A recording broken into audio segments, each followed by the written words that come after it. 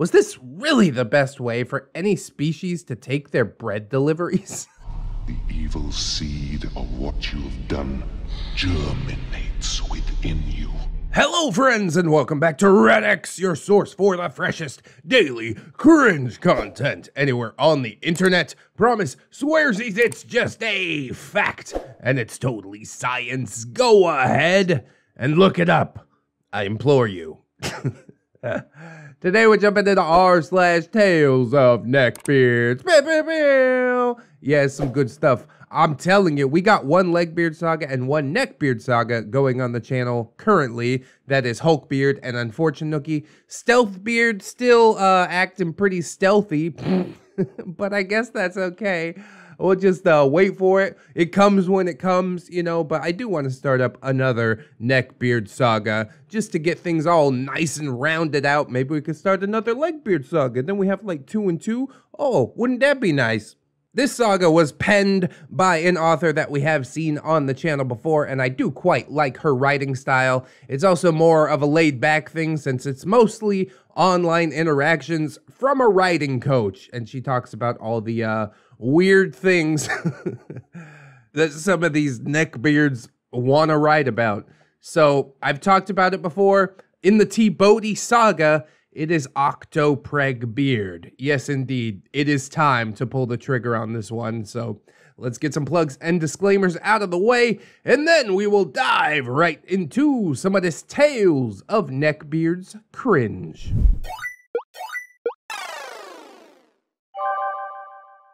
Octopreg Beard. or why I don't take fetish commissions. Part 1. God, what a name, dude. I have such high hopes with a name like that. Hello, readers. I'm a writing coach specializing in helping people develop their science fiction and fantasy works.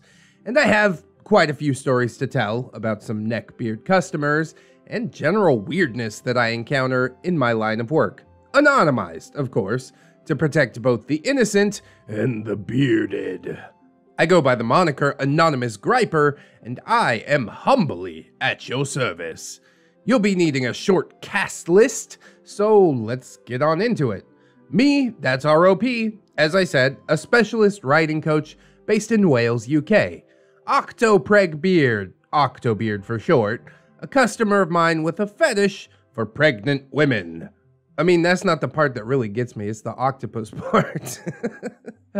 Mama Squid is Octobeard's fictional species, humanoid yet somehow boneless, victims of a virus that wiped out 95% of their female population and now trying to repopulate. Yeah, but why are they squids though? I can almost get on board with all of this weird shit, except for the, the squiddy bit. also, I should say if you want to support OP, need her writing services, she is in our Discord currently under the Jerry Consultancy. And I will also slap a link to her Patreon in the description somewhere if you'd like to utilize that. Fair's fair, you know? She wrote a story for me, I get a plug for her, everybody's happy. First, I should clarify something so you know what's going on throughout this story. Writing coach isn't quite the right word for what I do, but there isn't an established term for the kind of support that I offer. What I actually do is work with people to explore the quality of their world building and species development so that it's deep, robust, and checks out from all angles. I thoroughly enjoy what I do, but the very nature of my work means that I often struggle to work with characters, species, and worlds that are meant to cater to a fetish. Because that usually requires for some aspect of the in universe reality to be ignored or distorted. Octo's mama squid species is a prime example. Uh. what a ride we're gonna have today. Let's start with some of the more innocent stuff. The mama squid had no species name when Octobeard first approached me for this commission, and he was so keen for my help to come up with a name that he asked me three times. The first time he told me, First off, I, I have yet to come up with a proper name for them. This is no problem at all, so I said, I have a system with coming up for names that I can show you as part of the written portion of our work together. A week later, he said, I need help coming up with a name for them, as well as their subservient race. Oh, pregnant mama with subs. ah, the rabbit hole gets deeper. I assumed that he'd forgotten asking me before. People are busy, so I understand that it's easy to forget. And clearly, the naming issue was important to him. So I said, sure thing, we can do that during the time that we work together. I made a mental note about the mention of the subservient race, though. Slavery is one of the themes that shows up sometimes in the raw data that people send me for their commissions, and I challenge it if I see it being used for shock value, titillation, or as a joke. But innocent until proven guilty and all that. Maybe I thought he just meant a race of like alien horses or dogs or something. Yeah, OP, totally. Hope floats. Oh man. An hour or so later on the same day, moments after he'd paid for his commission, he told me, "And My main concern is that I've not been able to come up with a name for them or their servitor race. So if you come up with any ideas, uh, please let me know, okay? Uh.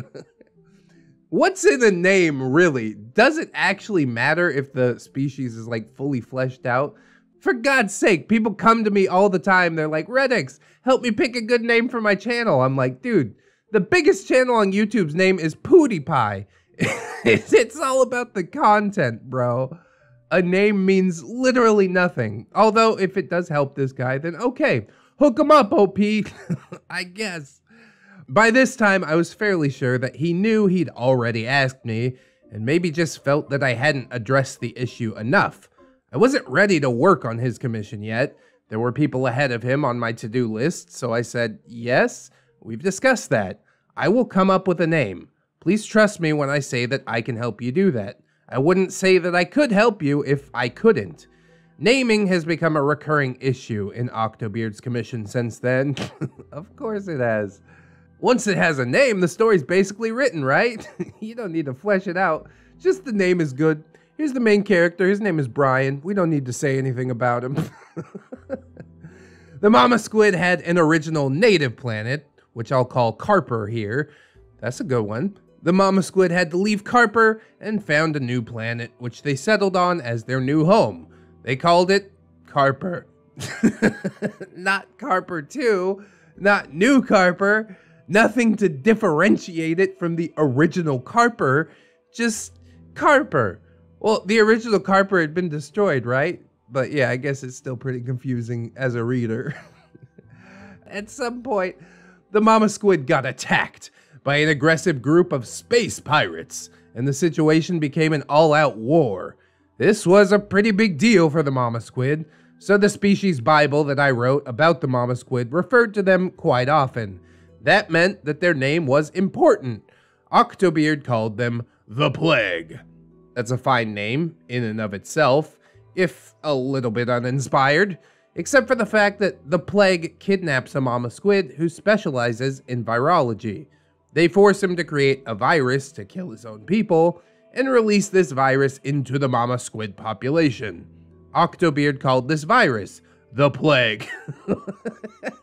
and didn't respond when I pointed out the confusion that this had the potential to cause to me or anyone else who read his lore Bible. The plague unleashed the plague on Carper. Wait, which Carper? The original Carper or Carper 2? It's not Carper 2. it's. uh, oh, man. You definitely got your work cut out for you, OP. Like I said earlier, I have a system for coming up with names, so I offered to help him come up with some new names for the things that had duplicate names the new Carper and the virus. He didn't respond to that, neither did he use my system, despite the fact that I had explained it in full. It's not a complex system, and it would have been just as easy for him to do as it was for me, but uh, no dice. And then there was the Mama Squid's biology, Oh boy. Octobeard showed me a picture of what the mama squid were meant to look like. The image was of a squid esque woman, heavily pregnant with breasts. I took from this that they're vertebrates, or had at least some kind of mammalian influence. Please, nobody suggest that the breasts contained ink because I can't today or ever. Yeah, these ain't for feeding my young, they were self defense mechanism. uh, God damn it, dude. I'm just loving it. It's so weird. but, anyways, the main issue that we've had from the start has been his insistence that they look like that, but they're also somehow invertebrates. Come on, OP, are you gonna come after the Zora next? it seems to work out for them, although I'm pretty sure that they are vertebrates. I pointed out that nothing is gonna be able to stand on two feet like that without a skeleton. and given the mama squid's shape, that skeleton would need to include a spine, hence, she would be a vertebrate. I should say that they stand like humans, not like, say, Squidward, who addresses being an invertebrate by standing up more or less like a human really well. Although that would be a way to handle the issue. Yeah, maybe they got like spines that are made of cartilage or something like that. You know? Could be fun. Look at me. I'm helping. maybe. He didn't explain why he wanted them to be invertebrates. There's a lot that he doesn't explain, even when I directly asked. He did suggest that they have a cartilage skeleton, however. Oh, oh, oh I got him! That's fine, but as yet, I have no idea why he feels the need for them specifically to have a cartilage skeleton, if he's so keen for them to be invertebrates. Maybe I need to say more about this species before you understand why this is a strange set of decisions on his part, and I will get into that soon. I mean, I don't know. If he's paying the money, I'd just be like, yeah, cartilage skeleton, whatever. Although maybe I am biased towards the cartilage skeleton thing because I came up with the same idea. Then there's this uh, misguided approach to having a perfect society. Octobeard wants the mama squid to be living in a utopia. Now, utopias tend to be tricky to make because they essentially beg the question how do you make this world the ideal habitat for everybody? And often, perfection means something different to different social classes and species.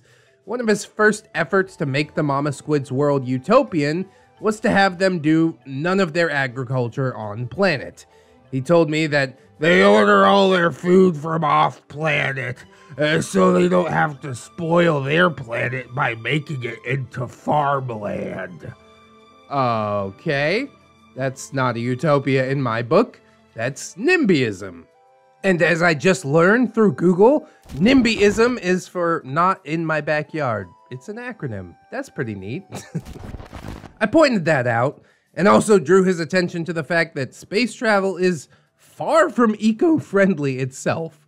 Fuel is needed in huge quantities and expires quickly, so it must be made and used within a short span of time. Mining is notoriously environmentally unfriendly and would be necessary for all the materials to build a craft and, of course, the ports that that craft would use. I had to ask, was this really the best way for any species to take their bread deliveries? uh, this was an inherently self defeating way for the mama squid to keep their world pristine. Alright, OP, how about this? The subservient race to the mama squids is actually a gigantic species of water bears, and they strap shit to their back and launch them into space to go to the different planets. Then you don't need any fuel. You're just using the momentum that they have when they start their trip, right? Ooh, big brain time. And I say water bears because I think they're like the only thing that can actually survive the cold vacuum of space. Add to that the food distribution issues. They'd either have very few starports or they'd have to do a lot of distribution, which had the potential to require an energy hungry, disruptive system. Or they'd have more starports, but the more starports they have, the more entry points there are to their world. There's a huge security risk, and or they are painfully expensive to guard adequately.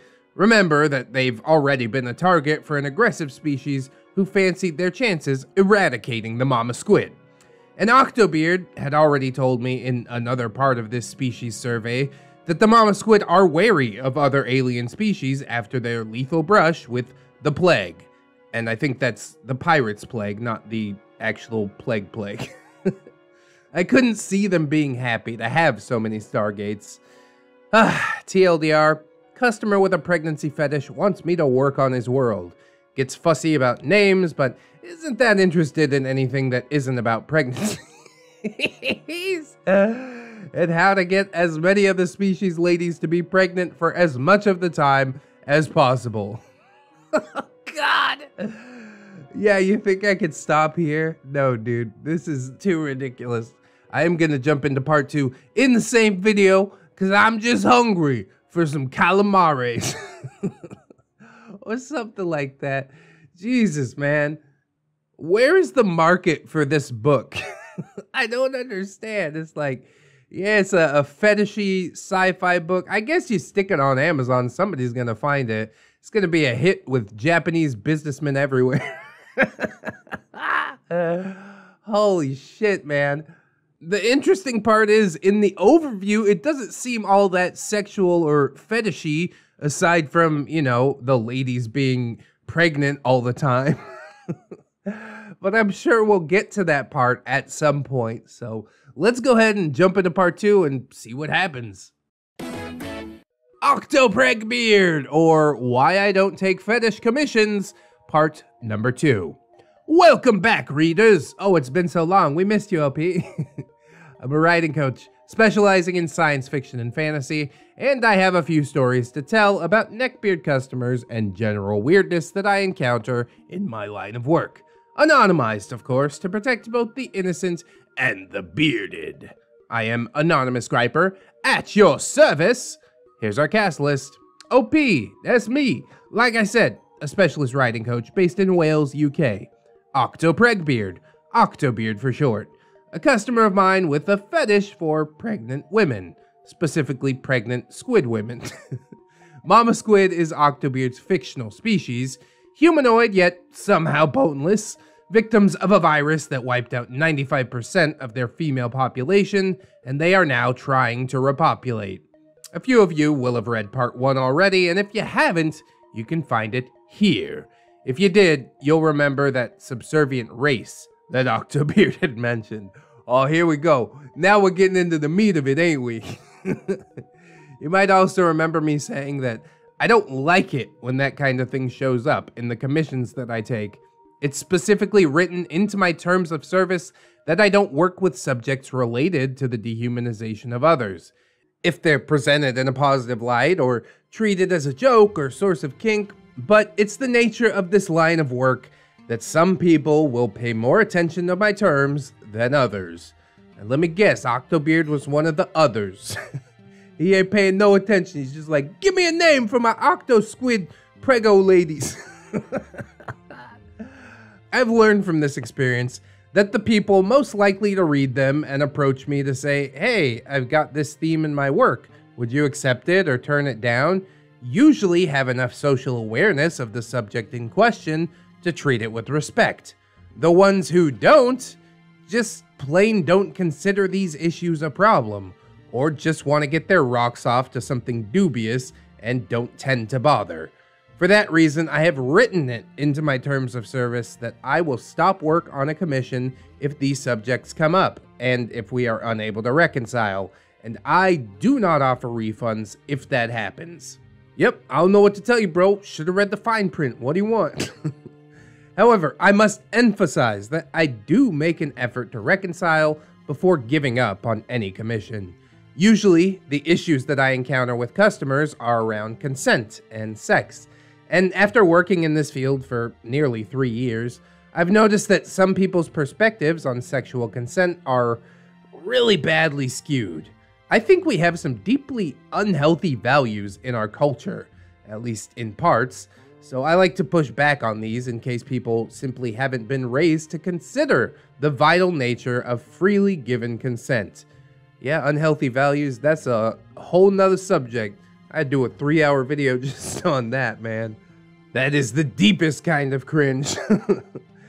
Anyways, quite a few of my past customers have become confused when I pointed out that a certain character or demographic in their creative works doesn't have the freedom to refuse consent.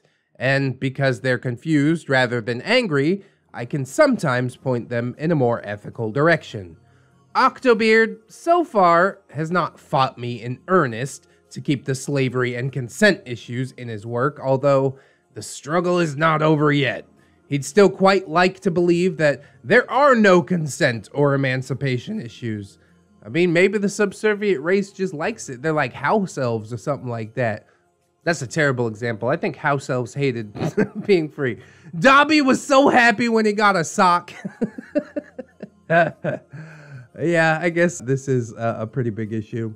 It's fun to be a kinky slave for a day, but try living your life that way. Bruh. I don't know about all this. I'll talk about the pregnancy fetish and the mental gymnastics he's done to get into the Mama Squid's culture first, and I'll address the slavery in another section because, let's face it, you read the title and you're here for the prego cringe. Aren't you? Oh, you got my number, OP. That's what it is. So, to recap, the Mama Squid are biotech specialists and caught the attention of an aggressive troop of space pirates. The space pirates decided to attack them in a way that would beat the Mama Squid in their very own area of expertise. They kidnapped one of the Mama Squid who specialized in virology, forced him to create a virus that would kill all of his people, and released it into the Mama Squid community. Oh no! Octopregbeard tells me that the virologist was under so much stress that he made a mistake in the crafting of the virus so that it didn't kill everyone. Instead, it only killed 95% of their female population. I'm not sure why he didn't have the virologist craft the virus to do that deliberately, and I'm even less sure why the virologist didn't make a virus to kill either the space pirates and or himself since surely both of these are preferable to killing his entire fucking species. and the mama squids would surely not be fooled into letting their own best experts be kidnapped again.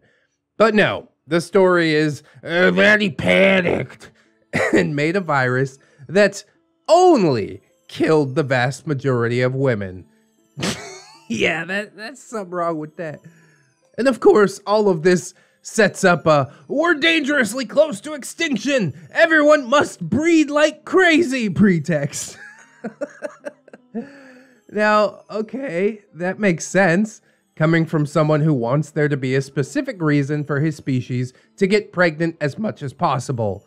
If not for the fact that he wants there to be as many pregnancies as possible, so why not make most of the males die instead?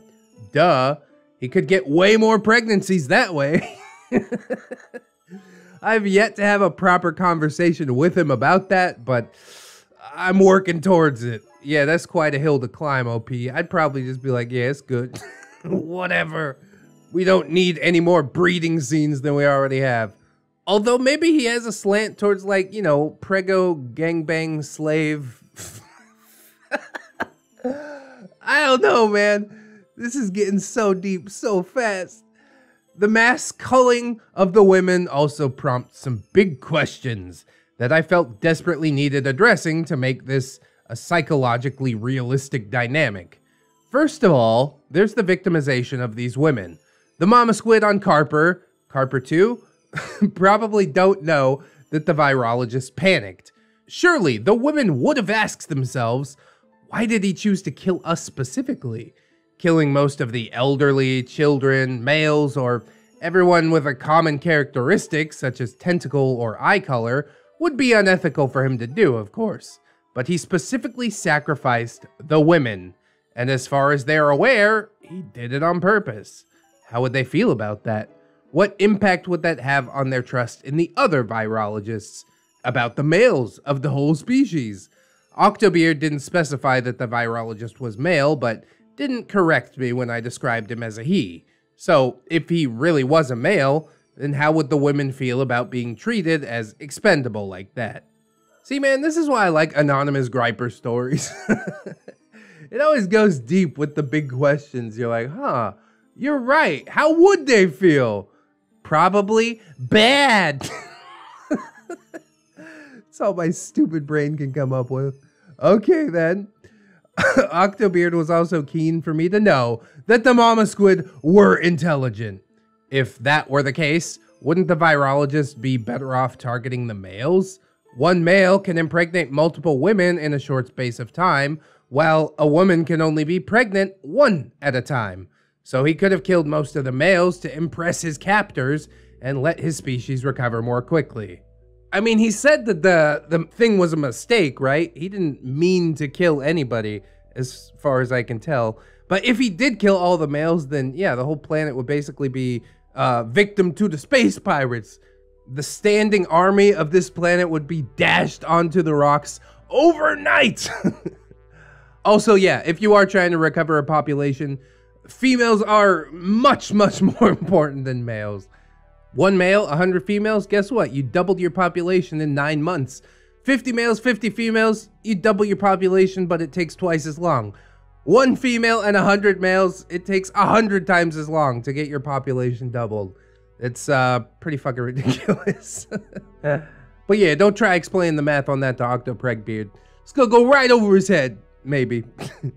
but anyways, according to Octopregbeard, None of this had any psychological impact on the community. Oh, that's convenient. Except for a minor reluctance to interact with aliens in a once bitten, twice shy basis, which he's ambivalent about anyways, because he tells me that they're both cautious and fascinated by aliens. Again, that's convenient. And they ultimately will accept most opportunities to interact with other alien species. What is going on, dude? This dude is full of wiffle waffle. He definitely does need a riding coach. fix him, OP! I don't think there's enough time or money in the world to fully fix him, but do your best! He's generally unresponsive to the idea that the women are distrustful of their leaders, their experts, or their men. They're just happy to get on with becoming baby making machines. Uh, I pointed out to Octobeard that they'd probably be unwilling to do this, especially wholesale, which is basically what he wants to happen. So he told me something vague about how uh, being pregnant is considered desirable in their culture, and pregnant women are seen as pretty. the shallowest. In my latest edit to Octobeard, I've pointed out that this doesn't seem to fit. How many women would want to risk giving birth to a daughter and bringing her into a world where she would be doomed to life as a broodmare? God damn, dude, there are some dark themes like underneath the cringe here. Oh. Also, another side tangent. my daughter was doing homework. She asked me what my job is. I'm like, oh yeah, I'm a YouTuber. So she writes that on her homework. She asked my wife what her job is my wife said baby incubator. and my daughter's like, huh? What? And mom's like, nah, just write YouTuber too. That's fine. uh, too funny. Oh, God. That cracked me up. It's mostly the look of confusion on my 10 year old's face. She's like, baby incubator. uh, anyways, he fixed this problem by telling me that the Mama Squid authorities have some sort of marketing campaign to encourage more women to become mothers, and yeah, that just solved the problem. Propaganda! it's good for the kids, it's good for the adults! I was pretty surprised that he suggested this at all. While I know that propaganda can be a potent tool, it looks just plain unlikely that it would work in this situation. A little bit of marketing isn't going to change a culture wide trauma. If it did, if that worked in the real world, then can someone please fund a huge global marketing campaign to rid the world of depression and anxiety? Yeah, I'm working on it. it starts with a YouTube channel, it ends with uh, embezzling millions in a marketing campaign. also, ladies, how furious would you be if you looked around at the ragged remains of your culture, rapidly descending into a dystopian hellscape, and someone told you, Hey, you should have kids! Come on, you'll look real pretty with a bump! uh, holy fuck, dude. this story has sent me into orbit. I knew it was gonna be good, but ah, oh, Jesus. I would tell that person, fuck off. And then when they'd done fucking off and they'd stopped for a break, they could fuck off from there too. I think this is why he wanted his mama squids to be invertebrates, so that giving birth would be easy. If they're human shaped, then the mama squid would find pregnancy and birth incredibly taxing, even dangerous. Probably more so because most of their female workforce, medical professionals included, are dead and gone, and a large number of the male workforce are likely grieving. But he was sure to tell me that the mama squid have already turned their significant biomedical skill towards minimizing the physical impact of having a baby. Yep, all we had to do this whole time was use science, you guys. I don't know why having a baby is still so hard when we have science on our side. How convenient. My thoughts exactly. Also, does that mean that they made their own species boneless or cartilaginous? That sounds, well, fucking crazy. yeah, they rip out all the bones when they're little. I also pointed out that having a child is a huge commitment in terms of money and time and energy. Preach. of course, he had an answer for that too. The mama squid raised their children communally, meaning minimal impact on the original mother. Oh, and their approach to sex is much like the way bonobos live. They'll do it basically with anyone at any time. And that's enough for him to be sure that they all just jump on the mothering bandwagon.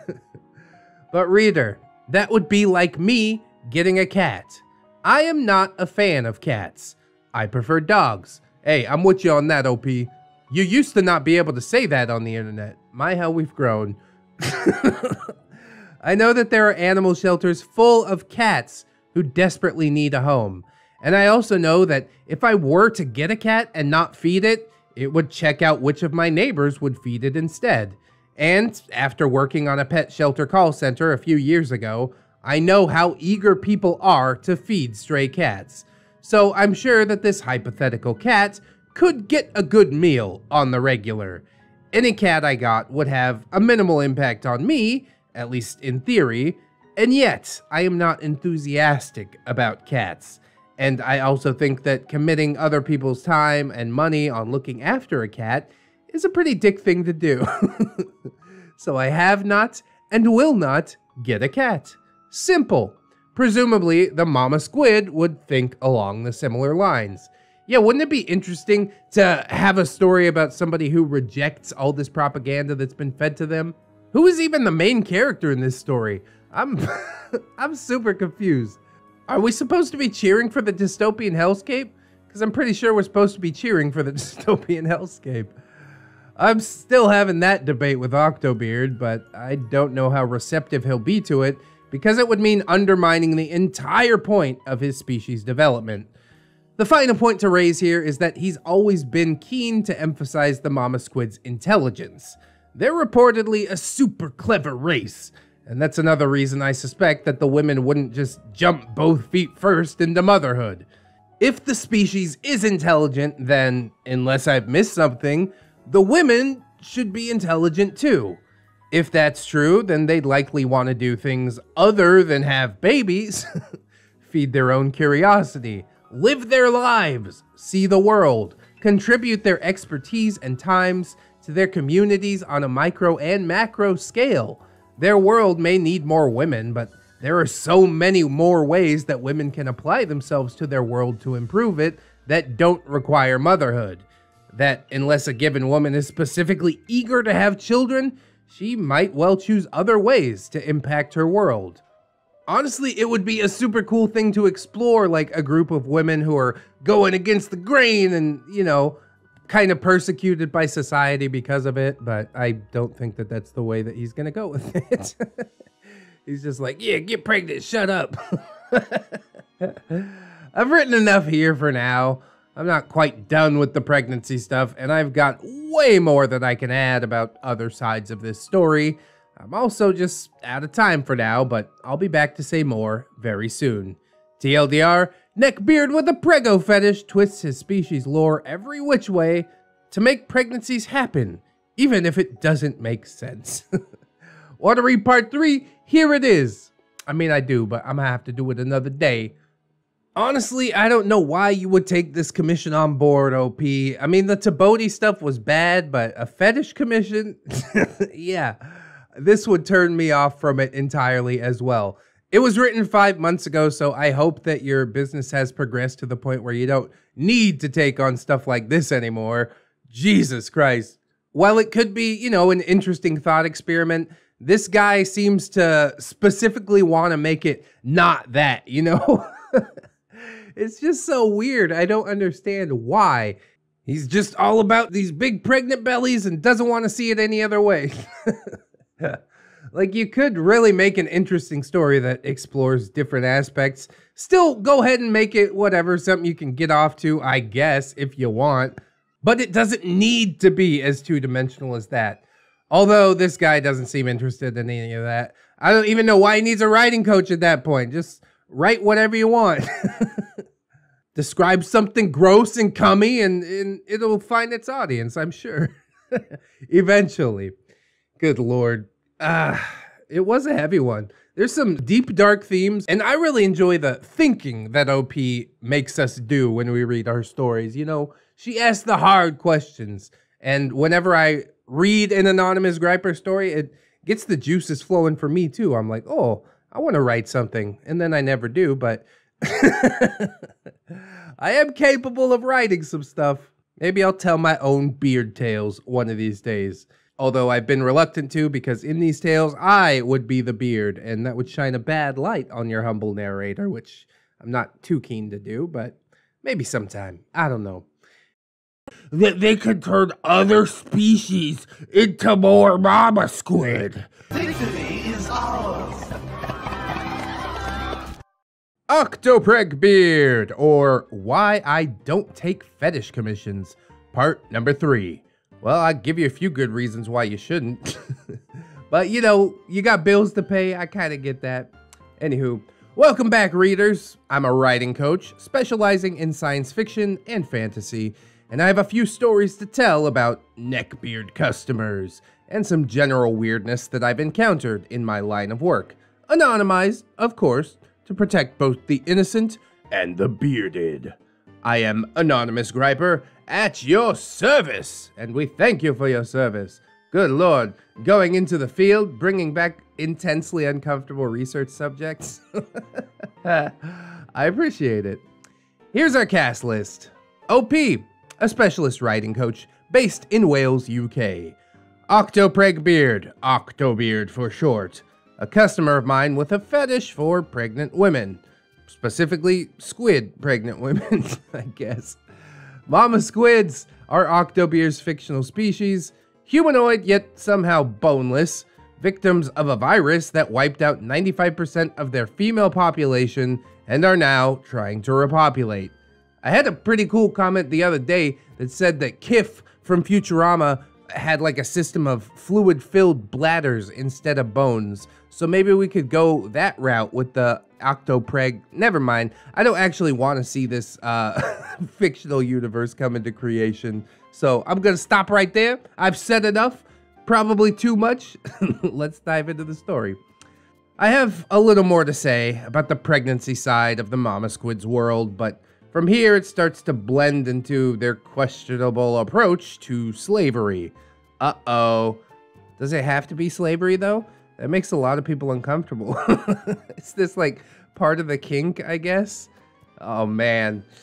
Octobeard was keen to tell me that the mama squid are so good at biomedical technology that they can turn other species into more mama squid and they use this technology to offer a new life on Carper to women of other alien species, including human women, in return for having them contribute to the baby making effort. Oh, God. I don't like this, man. It's all about the tentacles for him, I'm pretty sure. Imagine a human woman with octopus tentacles grafted onto her skin. Is that sexy to somebody? Uh, I'm really uncomfortable. Before I pick all that apart, can I just point out that that fits in really badly with their wariness about dealing with other species, which he said they had after their brush with the space pirates. Also, if you can change one species into another, wouldn't switching an individual's sex be relatively easy? Ooh! OP! I think you nailed it. I hadn't considered it. I tried not to let this thought penetrate my mind too much. But uh, yeah, absolutely. That's way easier, I would say. I have a consultation with Octobeard in the next few days, and I will check on that with him. God damn. Just put a hole in his entire little plan. Anyways, one of the details that needed to be in place for this was that utopia, which totally exists. As Octobeard saw it, if Mama Squid could offer a utopian environment for human and other alien women to come to, then that would help encourage them over. He also said that the Mama Squid were prepared to pay substantial money for women. Yes, I will buy the girl. Are we sure the Octo Squids ate space pirates? If you're like getting bought and sold by an alien species, who does the money go to? Your family that you left behind on Earth? Or do the women keep the money when they go to the planet? The money's only good on the on the squid's planet. you could go back to Earth, but you'll be broke again. So far, he hasn't been clear who exactly gets that money. See, my first question. uh, if there's any way that the women's families can get it, then I see that becoming basically a train wreck of what would essentially be sex trafficking. Yep, this is not going well. I'll say that. I'm extremely uncomfortable with this line of thought. Where are the people in the comments that thought I was going too hard on Octopregbeard in the last video just because we didn't share the same kink? How about the sex trafficking? You gonna step up and defend that one? Jesus Christ, dude. That is rough. Either way, Octobeard was convinced that this would bring lots and lots of women to Carper. I was and am much less sure that women would be happy to do this. What sort of desperate situation would human women have to be in to want to just quit planet Earth entirely? Especially to head to an alien planet full of disturbing looking octopus folk and spend their time having those octopus folks babies. Octobeard did not seem to grasp why that might put women off. Oh man, I bet Japanese women will go. yep, that's about it. You can have the whole of Japan, and that's it. I mean, that'll probably make Octopregbeard really happy, but this is really the only country that I know of that uh, reveres tentacles in the way that they do. but anyways, let's move on. Yes, please. From human trafficking to the mama squid's creation of a subservient species. I'll call them the Barbs. Like Barbara. Hey, I'm Barbara. I'm your slave for life. So if you need anything. God damn it. At first, he told me that the mama squid once again used their biotech knowledge this time to make the barbs. He told me that the barbs were less intelligent than the mama squid, and that the mama squid treated them well and used them as soldiers. treated them well, used them as soldiers. Pick one. uh, yeah, I throw them into uh, the line of fire, but we treat them well. it's so stupid, man. I questioned how well the Barbs were really being treated. if they were being sent to fight and potentially die on the Mama Squid's behalf.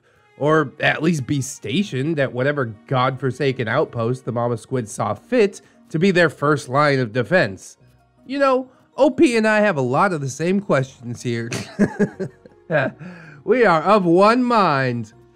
He told me that the Barbs lack the intelligence to have any problem with this. Well, it's probably more accurate to say that he himself didn't see why it was a problem, since he's not very intelligent. the Mama Squid brought the Barbs into existence. Wasn't that gift enough? Or something? So I pointed out that you can't have unintelligent soldiers because they'll get themselves killed. Yeah, imagine fighting an army of, of lemmings. All you need is one good cliff. and you've won a war. I used to know an Australian soldier, and he once told me that Aussie soldiers are taught a mathematical formula to use on the field to coordinate their movements. This allows them to advance in a way that looks random to anybody who isn't on that formula, but which is actually predictable when you know what the formula is. What's the formula? in short, you can't put dumb creatures on a battlefield and expect them to be effective soldiers. They have to be able to organize, and they have to be able to do it in a way that the enemy can't decipher and counter effectively. I guess that's true, unless you just plan to like throw bodies into the grinder. We're gonna need more barbs. But yeah, that puts the whole uh, treating them well thing out of the way. If you're just gonna throw them into machine gun fire until the machine gunner runs out of bullets. uh, I pointed out the trauma that going to war would cause the Barbs who had survived. In fact, I wrote a detailed list along with brief explanations of the type of abuse this arrangement puts them through, plus notes on the long-term cultural and or multi-generational impact of it. After he saw my list, he decided to change the idea so that the barbs were drones, not slaves, and that Mama Squid would use their telepathy to control them from a distance. Oh, yeah, I didn't mention before. The Mama Squids are telepathic. okay, sure, why not? uh, sounds kind of stupid, but okay. Anyway, I admit that I'm still not quite comfortable with that especially since I know how the barbs evolved to this point. But drones who never had the awareness to know what was happening to them is better than slaves, I think. Well, that kind of brings up the question of like robot autonomy. You know what I mean? Do cyborgs have a soul? Again, we we loop back to Futurama, and uh, I don't think I know enough to have an answer on that personally, but an interesting discussion to have, perhaps. So, yeah, that's pretty much that for now, at least. On to the next delightful topic that Octopregbeard vomited up with this species eugenics. God, dude. Again, where are the people who was defending him in the last video? Sex trafficking and eugenics. Look at your hero now. like, oh, it's so wrong to laugh at him, ReddX. Bro, this is creep shit. What's going on? I am well within my rights. I didn't launch a witch hunt. I didn't try to get his social media or his Discord or whatever. I'm just laughing. But the more we go on, the more that I think, God, he really does deserve some sort of retribution. These are horrible things to to write about. And if you're writing about him, that means you're you're thinking about him. Oh God, dude, I can't. I've got to take a deep breath. Okay. Octobeard said that the mama squid considered biology fascinating, and their biotechnology was their preferred art form. They looked at other alien species and saw a canvas, just waiting for them to add their own artistic touch. Oh, God. Okay, Josef Mengele. what the fuck? It's just getting worse and worse. Like, I guess it might seem normal in some context, but uh, to me, it's really creepy, really uncomfortable. we're only just getting into this now. But again, reader, I ask you, does this not give you at least some eugenicist vibes? I've worked with Octobeard before on other projects and have never had malignant vibes from him before. So I don't think that this view comes from a place of supremacy, but I still find it really uncomfortable, especially with everything else that is going on in the Mama Squid's world. Yeah, this is super weird. I'm, I'm surprised you have worked with him before and it was normal up until this point. But all I'm saying is, you never really know somebody. You know, perhaps he just kept all this well hidden from the world. Or, you know, maybe he just wants to graft a tentacle onto his nipples or something. I don't know. If you're confused about why the mama squid look at other species and think, ooh, art time, when they're supposed to be wary of other species because of their history with the space pirates, then you're not alone. I wonder that as well. Those are the big ethical issues that Octobeard's brought into this commission, but I have a few little extra things to tag on to the end. so here it goes. Ooh, bonus cringe. uh, let's get back to that telepathy. There's so much that you can do with the idea of a telepathic civilization. How does it work? What are its limitations? What impact does it have on confidentiality, privacy, shame, compliance with or breaking of laws? How fast can they transmit information? Could you instantaneously educate a class of mama squid children this way? And yet, while they are telepathic, Octobeard has relatively little interest in what this skill actually means for the mama squid. Yeah, the only thing they could do is uh, control these drones. Basically, they found out they had these telepathic powers that didn't do anything except move this extremely uh, specific combination of metal alloy. And so they built drones out of that metal alloy. so now they can, uh, yeah, that's the only thing their, their powers do. The end. Close the book. Really boring and weird, but okay. then there's Octobeard's offhanded comment that he made once that the mama squid have a matriarchal system. I think he threw this in to make the whole mass pregnancy thing look less like The Handmaid's Tale. but just like with telepathy, he didn't give any of that very much thought. We have little real life information to use to guide us when it comes to matriarchal systems.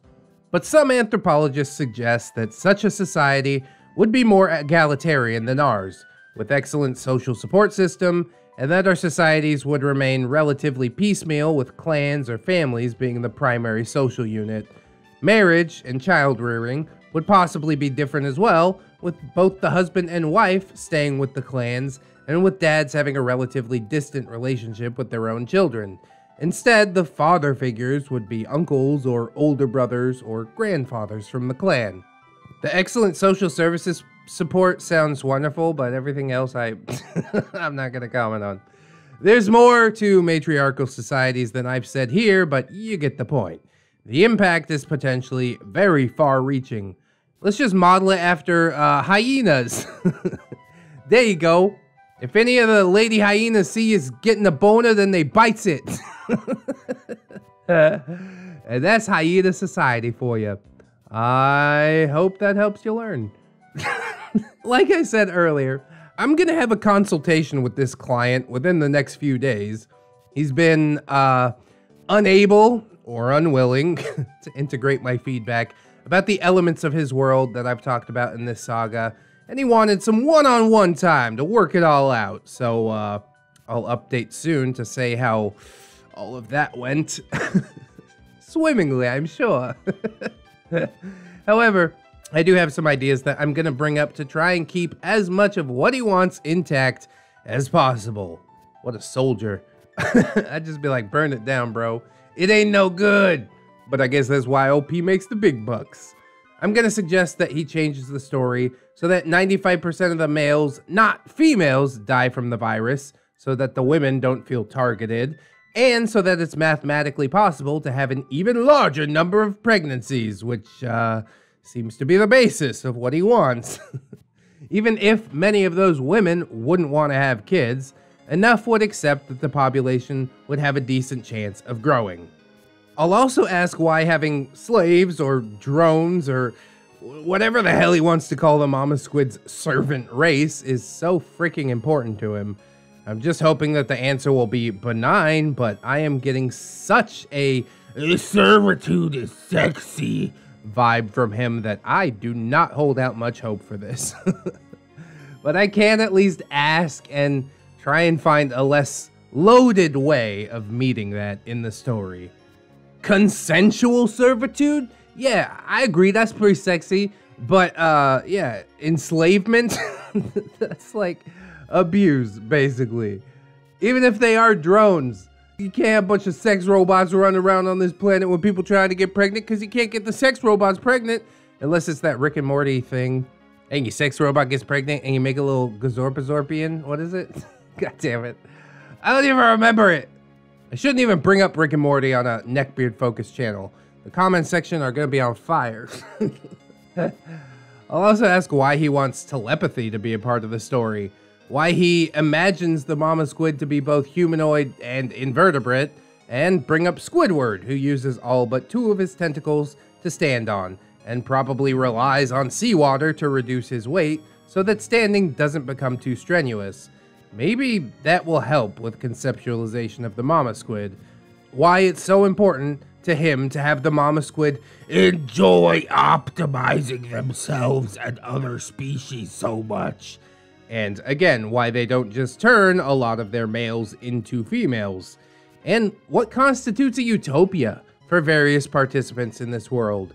The mama squid themselves, the women they may or may not be trafficking by this by the time this conversation's done. And of course, the lowly Barbs. And if we have time at the end, what is with his reluctance to name everything that needs to be named? I've got an hour to get as much of this conversation done as I can. Oh, good fucking luck. I don't know about any of that, Chief. Want to read part four? Here it is! TLDR customer with a pregnancy fetish wants me to think of sex trafficking and eugenics as cool details of his species lore. Holy shit, man. What in the actual fuck is going on over there?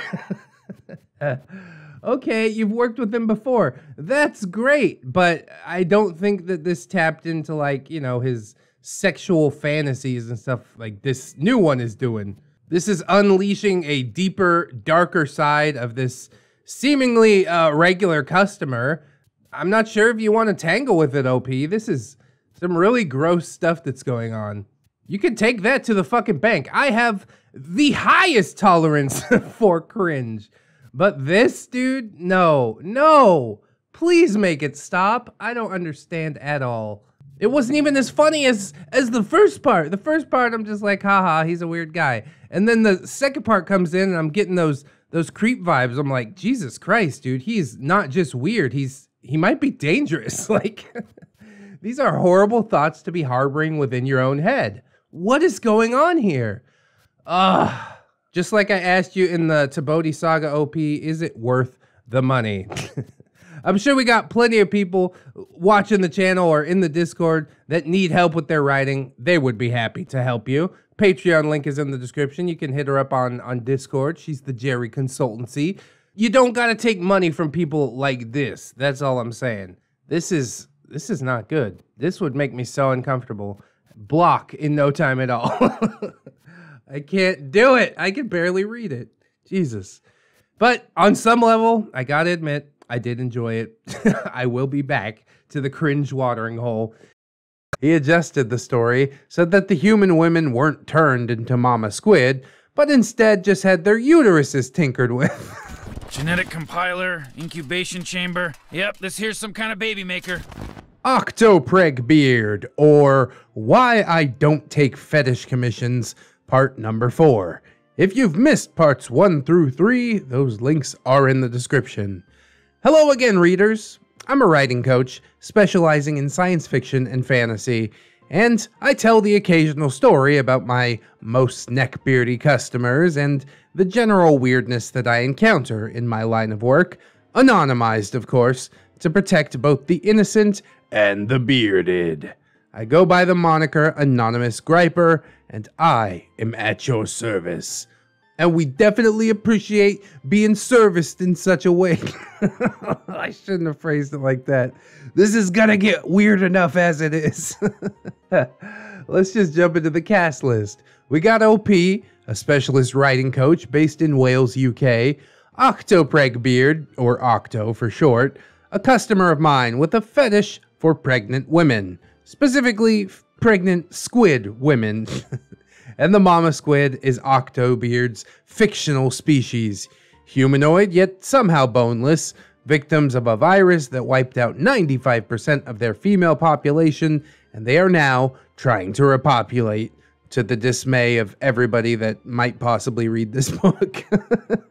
the saga up until now has been about the major themes of Octopregbeard's work. Click here for part one, or in the description, since if you click the video, all you're going to do is pause it. in the last part, I mentioned a consultation. Well, this chapter is all about how that one hour consultation went and what happened afterwards. Oh, yes, we are in for a train wreck today, but hopefully a train wreck of a lighter caliber than the past couple of days. I should probably explain why Octopregbeard booked this consultation. A commission with me requires input from both myself and my client. They describe their species. I write what I can in a Google document and ask in the document about anything that they haven't mentioned or anything that generally doesn't add up. They answer the next time they have free time, and then I pick it up as soon as I can, write a little more, and ask more questions as any other gaps or inconsistencies are revealed, and we just basically keep on doing that until the species is fleshed out enough to make writing a story about them easy, or easier, as the case may be. this requires good communication from both sides of the commission. I usually can't tell at first whether the communication is going to flow with a given client because I need to know the species fairly well before I'm able to recognize when something is being left unsaid. As you might imagine, passivity in my clients can become problematic, but I like to hold back at first when I see my client being uncommunicative in case it's less a problem of passive aggression and more a case of poor vocabulary or being distracted by the offline world or something like that. There, there's an offline world? uh, nah, I'm kidding. But I say probably if they're not trying to work with you, like do the old back and forth, that should be addressed relatively quickly. Otherwise, it might be passive aggression. And to let something like that fester, I mean, that's never going to turn out well. Then again, I am always the sort of person to like confront a problem head on, even if it's awkward for everybody. I'm like, whatever, it's fine. I gotta say what I gotta say. Prior to booking this commission, Octopregbeard admitted that he had difficulty answering my questions about his species if I wrote them in the Google Docs document that we were working from. But he could answer them in real time in Discord. no, no. Sit down, take your time writing it out. I don't want to hear it from your stupid mouth. That struck me as strange, but I guess it must be possible for folks can have all sorts of communication barriers. So at the time, I gave him the benefit of the doubt. Shouldn't do that either. it's not gonna be as well thought out as it would be if it was being written. You know what I mean? But again, all right, OP, you do you. As long as you're getting paid, I guess it's kind of whatever. Anyways, that's where we both were at when we had this consultation on Discord. I asked him about several aspects of his species to try and get clear answers to them and work out where the snarls were. They included 1. Why was Octo Pregbeard so keen for the mama squid to just be happy to import their food from off planet? despite the fact that their last interaction with an alien civilization had nearly wiped them out. His answer? Uh, he needed an excuse for the mama squid to be talking to off-world civilizations. Okay, that was fine. I figure that there were other ways that that could be achieved. I forget whether I explicitly offered to find another way, but I know I made a note to watch out for opportunities for this that weren't as risky. Another question was how the virologist who created the plague got convinced to almost murder his entire species, as the current line of, uh, he panicked, didn't really fit. Octopregbeard decided that he would get Stockholm Syndrome for the space pirates. I looked up the process that leads to Stockholm and confirmed that this was workable. Yeah, but doesn't Stockholm Syndrome only happen under like super specific conditions? I was reading something about uh, that being debunked as a syndrome. I also asked him how the world he was imagining added to a utopia to him when it looked like a dystopia to me. His answer The mama squid cooperate and feel a sense of unity. He told me that he hadn't thought of it any deeper than that. At this point, you're just use the words. I don't even think you know what the words mean, bro. What are you doing? I don't know what I'm doing! You heard it here first, folks. China cooperates and they feel a sense of unity. Ergo, China is a utopia. Uh, yeah, boy. I asked whether he was prepared for the mama squid to be seen in a negative light over their positive attitude towards manipulating the genes of other aliens. He said, Yeah, he was fine with them having a few imperfections like this. Yeah, that's a, little bit more than skin deep, isn't it? that is a deep imperfection to get over. They just practice eugenics because they're quirky. I'm like quirky. I'm like silly. and- Shut the fuck up!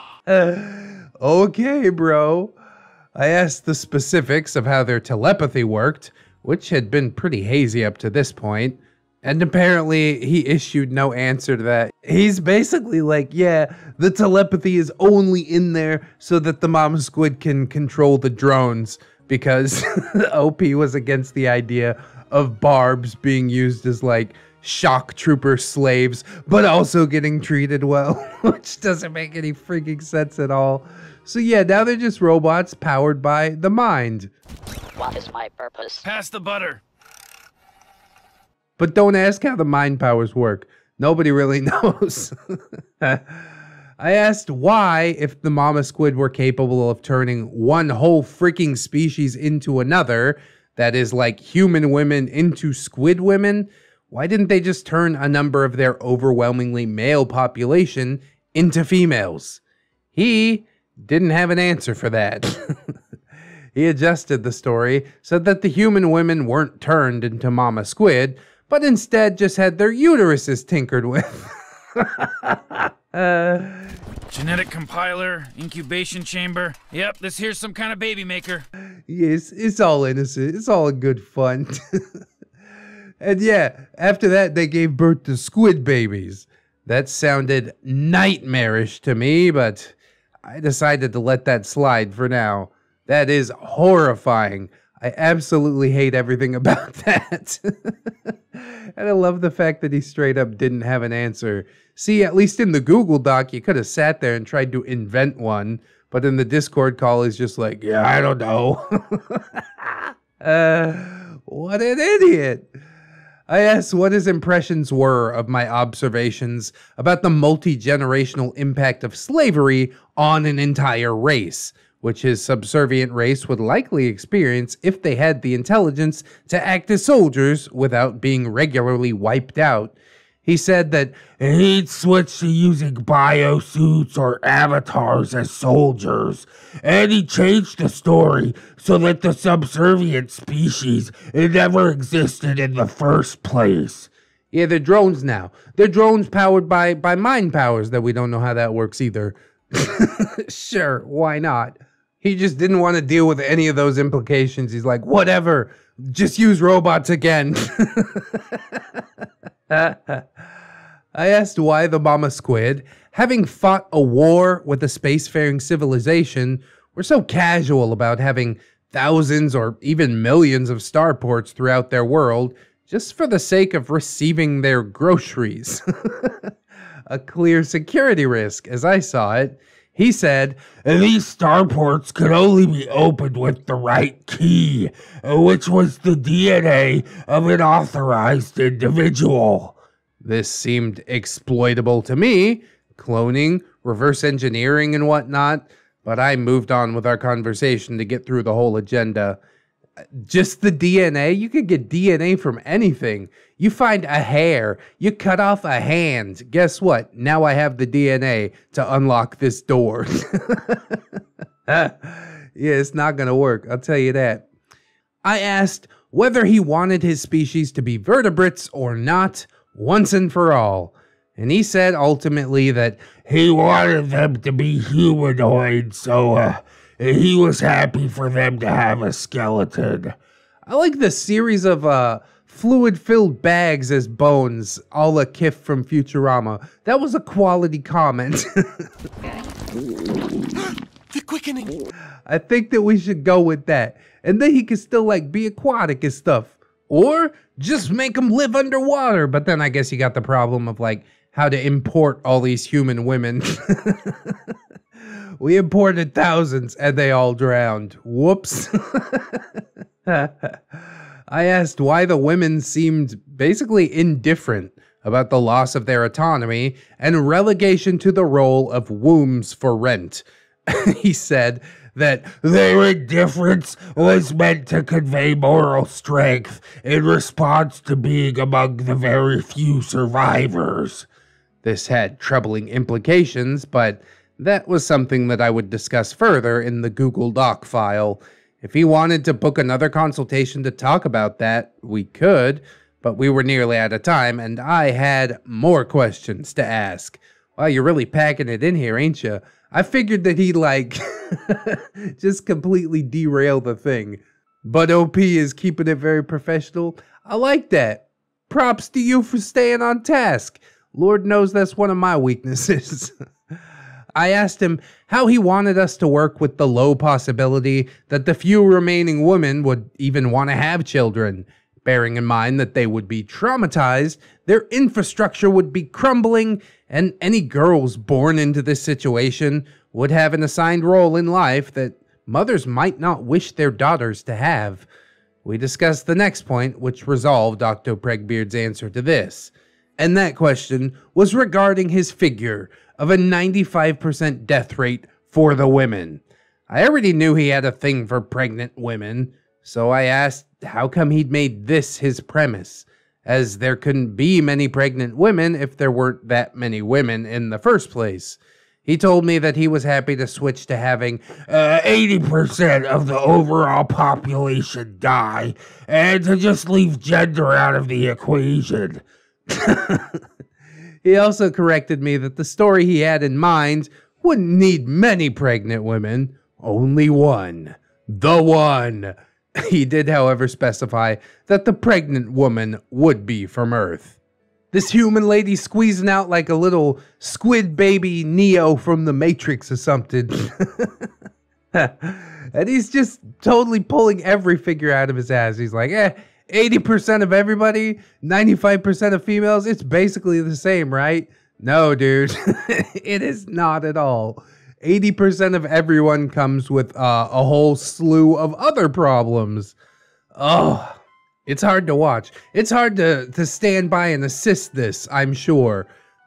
There's no amount of money on earth that would make me put myself through this. We had to go through all of this in a fairly quick fire fashion in order to cover everything, and even then we went like 20 minutes over time. I don't like blurring boundaries in my work as it sets a precedent, but I suspected that we'd end up wasting even more time if I didn't take the opportunity to get clear answers to all of this stuff during this consultation. I mean, you got some answers to some stuff. I don't know if they count as clear answers, though. but again, props for staying on task. In the days and weeks after the consultation, I kept working on the mama squid, but Octo Pregbeard didn't seem particularly interested in spending time integrating the new workarounds. I figured it was up to him to tell me if he was unhappy with the workarounds so we could try and find some new solutions. Now, something else that had been going on throughout our commission that I didn't mention here at first. Most times, whenever he or I had an update for each other about the species profile, he would finish up by telling me about his dad. Octopregbeard's dad had cancer and was deteriorating fast and having the occasional emergency. Oh man, I was trying to get away from serious life stuff today. Somehow it just manages to find me. I am sorry to hear about this. It's super heavy stuff, but I am 100% sure that Octopregbeard is going to manage to make it weird somehow. I'm going to preface this part by explaining my position on the subject of sick parents. I've been estranged from both of my parents for about eight years, and I am still delighted to be free. Despite that, I often feel a sense of false nostalgia when I see a good parent child relationship. I wish that I'd had a good relationship with mine, and sometimes it hits me right in the feels to see someone else get that. I personally cannot fathom feeling upset by the idea of my parents getting sick because, frankly, and I know that saying this will sound harsh, but it is true, I don't care whether they're alive or dead. They genuinely could have died of COVID, yet knowing that isn't creating any urgency in me to check up on them to see if they're all right. Oh, I don't know if I can go along with you on that one, OP. I'm sure you have your reasons and such, but didn't you ever see the Fast and the Furious movies where Vin Diesel's talking about family? I don't have friends. I got family. I'm surprised that didn't turn you around. There's like eight of them movies. Watch them all. You'll feel different. Uh, see, I take something so serious and I boil it down into bullshit. Beautiful. because I can't quite connect with the fear of losing parents to illnesses, I'm careful around this subject.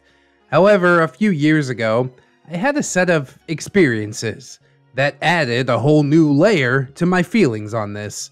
I developed a writing commission group. If you wanted to commission a story, you could come to me, and I would find you a writer who was as passionate about the subject of your desired commission as you were, had capacity to take your commission, and was within your budget. This setup attracted a lot of commissioners. Were any of them looking for pregnant squid girls? Most of my problem with this system came from my writers. Yeah, the people who are actually doing the work. Uh, a brainwave, an idea doesn't do shit, man, unless you put in the legwork or throw money at it for somebody else to put in the legwork. But sometimes you got to throw a lot more money at it because people might not want to do the legwork. Anyways, I had a total of 12 writers at the height of this group, and I had the same experience around 10 times.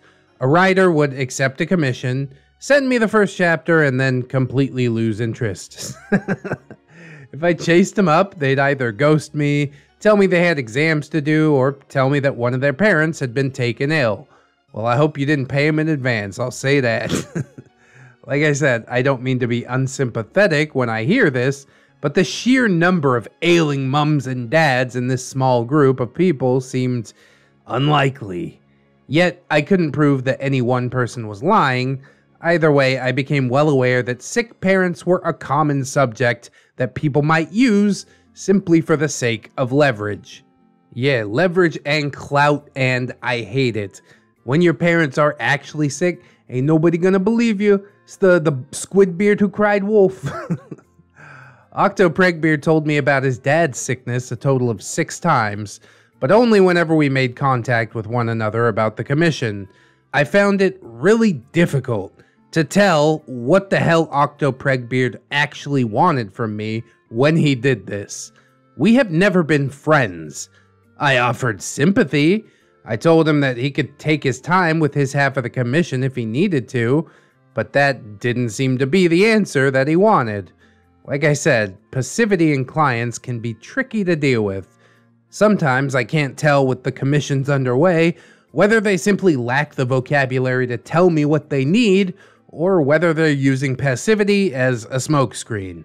I would say that it is most often a smokescreen. If people are this interested in writing or commissioning writing, then they probably have some vocabulary. Just grunt at me. Say, Dad's sick, you know? Okay, I get it. Sorry that happened. Come back at me when you're ready. Just just give me something. Getting ghosted like that? Ugh. That that's not a good feel. Especially in a professional relationship. Semi-professional? One half is professional, the other's not. Goddamn. I discussed this with a friend who suggested that the next time Octopregbeard did this, I should offer to just shelve the project. That way, if his sick dad was such a problem that it was impacting his enjoyment of or focus on this project, then shelving it would be a nice gesture so we could pick it back up whenever he wanted. World building really should be fun after all, otherwise, what is the point? Alternatively, if he was using his dad for leverage, this approach would nudge him to stop. Octopregbeard didn't take long to bring it up again, so I went ahead and used the above strategy. What was his answer? It's okay. We don't have to stop the project. I'm just upset about my dad, that's all. Uh, this part's getting long, so I'll break it here. But in the next part, I'll talk about the gigantic Patreon pledge and the whole strange story around that. I know the phrase, you won't believe what this neckbeard did with a 175 pound donation. It sounds clickbaity, but honestly, I don't think that you will. and that sets up what happened pretty well, so I'll get it written up soon as. Want to read part 5? Here you go! TLDR. I talked with a beard customer about how he wants to integrate the fetishy bits into his world building and manage his habit of crying on my shoulder about a sick relative. I'm conflicted about jumping into part 5. It is the last part at the moment, but wrapping three series in three days seems ambitious. I'm just going to take it nice and slow today, a little bit of a shorter episode. I hope that you guys don't mind. While the conversation and the little Discord meeting did provide some cringe, I think the cringiest thing of all is him constantly bringing up his dad's sickness. Like, okay, condolences. You know what I mean? Like, what else do you want me to say about it? He's like looking for some sort of sympathy or clout, or I can't even really put my finger 100% on why people choose to do this, but it's it's cringy every time. My main experience with this is like when I'm streaming and people drop into the chat, don't even say hello, and just start dumping trauma. They're like, hey, my mom died. And of course, everything that's going on in the stream has to pause to say, okay, well, I'm sorry that happened. Condolences. Now we need to move on with what the hell we were doing before you kind of tried to derail everything. I don't want to say that they're they're faking or anything like that, but there is a time and a place and people that you should be bringing that up with and I am not those people. This is not the time or the place. And sometimes I think putting it in blunt terms like that really can't help. I mean, I'm relatively good at that. Sometimes it makes for an awkward conversation, but I'd much rather have one awkward conversation for them than 20 awkward conversations for myself. You know what I mean? Bite the bullet, bro. It's whatever. you can't tell me what to do. I live 40 leagues under the sea, son. We're gonna start a new life under the sea. Octopregbeard, or Why I Don't Take Fetish Commissions, part number 6. Hello again, readers. I'm a writing coach, and I tell the occasional story about my most neckbeardy customers and the general weirdness that I encounter in my line of work, anonymized, of course, to protect both the innocent and the bearded. I go by the name Anonymous Griper, and I am at your service. And thank you for your service. I mean, it's not the military, but it's still really important to me, though. Here's our cast list. Quick cast list. OP, a writing coach based in Wales, UK. I specialize in helping people with science fiction and fantasy stories. Octo Octopregbeard, Octo for short. A customer of mine with a fetish for pregnant women and apparently sea life, specifically squids. Mama Squid is Octo's fictional species, a humanoid octopus people who see no problem with tinkering with the genetics of other species, coercing other species to have their babies, and were just badly made overall because all Octo really wanted was some tentacle ridden prego women. oh boy, that is a very specific taste, but I guess there's something for everybody out there. As I have said many times before, no kink shame, but no kink same. it seems about time for me to wrap up this saga, as I think the drama is actually over now. I thought it was over last time. I guess we'll see. If you want to start reading from the beginning, part one is here. Yes, I also linked it in the card at the beginning with the little playlist and also the individual videos in the description if that's more your speed. The day after Octo Octopregbeard wrote his vent journal, which I mentioned in part 5, he wrote a Commissioner's Beware call out journal. Oh god, I knew this was coming. It was a long, ranting text wall of doom, and a lot of it was him twisting the truth, assuming the worst of intentions for me, and of course, outright lying. I wonder if he sees it as outright lying or if he's just trying to protect his ego. I see a lot of bruised egos flying back and forth in this story, honestly. For example, one of the uh, highlights was that I'd created a Discord robot specifically to force him to rejoin my server without his consent after he had left. Is that even possible? I don't think that's what the Discord bots are for, man. Reader, at the time that the events of Part 5 were going down, Octo Pregbeard was a Patreon supporter. I have the standard Patreon Discord bot activated, which automatically invites people to my server if they pledge. He left my server after we'd apparently parted company the day before, but didn't immediately cancel the pledge that he had going. The bot clearly just did its thing and re-invited him. I'm gonna tell you right now, OP, hope that that bot never leaves your server because I have had a hell of a time trying to get Patreon to answer my uh, support tickets and get that bot back into my server to like automate the roles and whatnot. It has been the biggest pain in the ass. I got to do it manually now. So I got to be like, oh, this name matches to a patron. So this is probably a patron. DM them. It's like, oh God, it's a whole process. Patreon Discord bot, extremely helpful while it sticks around, but once it leaves, you can never get it back, apparently.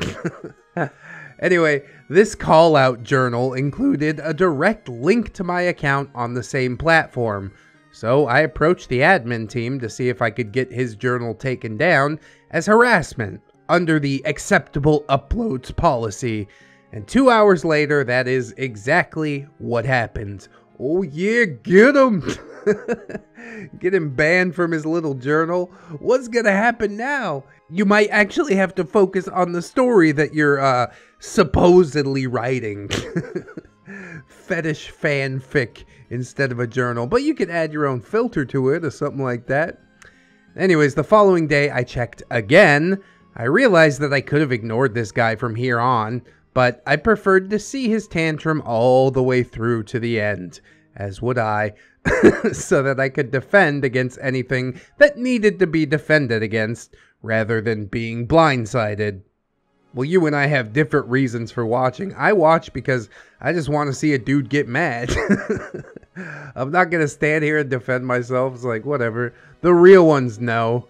Anybody that don't like it, well, there's the door. Octo had written a short, sullen journal post about how, in light of recent events, he was gonna leave the site for a while. Good fucking riddance to bad rubbish. yeah, go concentrate on yourself and, you know, whatever the hell you're doing over there. But of course, that wasn't quite the end of things. Oh no, he opened up PayPal and requested his 175 pound Patreon donation back. Ah, the first I knew of this was a notification from PayPal themselves, stating that they had already sent the money back to him. I have challenged unfair refunds before, so I tried to do so in this case, only to see that there was no such option. Feel that. PayPal gets really weird about like digital goods. Physical goods, you got the proof. Digital goods, it's, it's a lot harder, so they generally opt to uh, pay back the person that was giving the money out. In his call out journal, he'd also stated that he'd requested the original commission fee back. But thankfully, the refund window for that was closed, so PayPal wouldn't allow it. Thank goodness for that, because that would have been a further 360 pounds. Yeah, this dude could seriously make your life hell. and all because he doesn't know how to write a, a, a friggin' porno story all by himself. Come on, Octopregbeard, you're a big boy. you can do it. Uh, I tried to recoup the loss from all of this and requested a return of the 56 pounds I'd given him, but PayPal staff rejected it. Oof. All of that was quite a blow, so I did my best to just take it easy for the rest of the day. Yeah, I think they saw that he refunded you, so you refunded him, and they're like, nah, we're not going tit for tat here. So you should have been the smaller person and refunded him first. That's what I take away from this lesson. I say that I did my best to take it easy for the rest of the day, but I swear that there must have been a full moon or something that day, because while I was writing up my case for that 56 pounds, one of my long term clients came to me saying that a friend of his had come out as a pedophile. Oh, God, why would you bring this to me? I really don't care. I hope your friend goes to jail or dies. But please don't make my faith in humanity any lower than it already is. oh, God. He stated this friend had never offended, but felt that their control was slipping, and my client was at a loss for what to do. Oh, God. Keep your hands out of this one, OP. Fuck. But OP says that is a fairer question to me than it first appears because I have clinical training in how to deal with uh, ethical issues like this. Is it really an ethical issue? I'm pretty sure everybody's on the same side of this issue. Issue implies that it's a question, and it definitely should not be. it was just, uh, quite a time for something this heavy to drop into my lap out of nowhere. Dump that shit on the floor. I ain't dealing with that. So I wrote up a response and a few supportive sentiments to my client, who was deeply concerned about the whole thing, and he decided to check in with him a few days later. He is a good egg, that one. I mean, it's nice he's trying to get the dude help and stuff like that, but really he can't be that good. If my friend comes out as a pedophile, I'm gonna take his fucking head off. There's only one solution as far as I'm concerned. And then another client, who is also an odd guy but doesn't really warrant a saga all of his own, contacted me out of the blue. Maybe I should preface to say that I call this guy odd. His character work and story writing has themes of wishing for a very easy, almost childlike life to a degree that I find it a tad strange. It can be difficult to engage with him over the consequences of his character's histories because he likes for his characters to go through a lot, but then to just get better and live happily ever after with really no healing process in between. Oh, good. I experienced trauma, but I'm okay now. okay, great. but anyway, he contacted me for the first time in months to say that he'd been trying to buy some gift cards for someone for Christmas, but hadn't been able to, and he wanted me to buy one later that he'd pay me back for. Ugh. I don't think that this guy would knowingly scam me, but this had scam written all over it, so I said no, and I warned him to be careful too. Well, good job dumping that one on the floor at least. yeah, you definitely were almost taken for a ride if you would have said yes. And then I decided to reach out to another client of mine. Last time I talked to this guy, he offered to knit me a scarf in time to mail it to me for Christmas. So I figured I'd finish out a very crazy day by checking in, seeing how he was doing, and to talk about some nice, calm, sensible things like woolen goods. that is comfy, the comfiest. He said that he'd been having some severe insomnia, and it was clear from the start that he was still going through that. His sentence structure was all over the place, and he wasn't really capable of talking about anything other than how desperately tired he was. Take some valerian root and call me in the morning.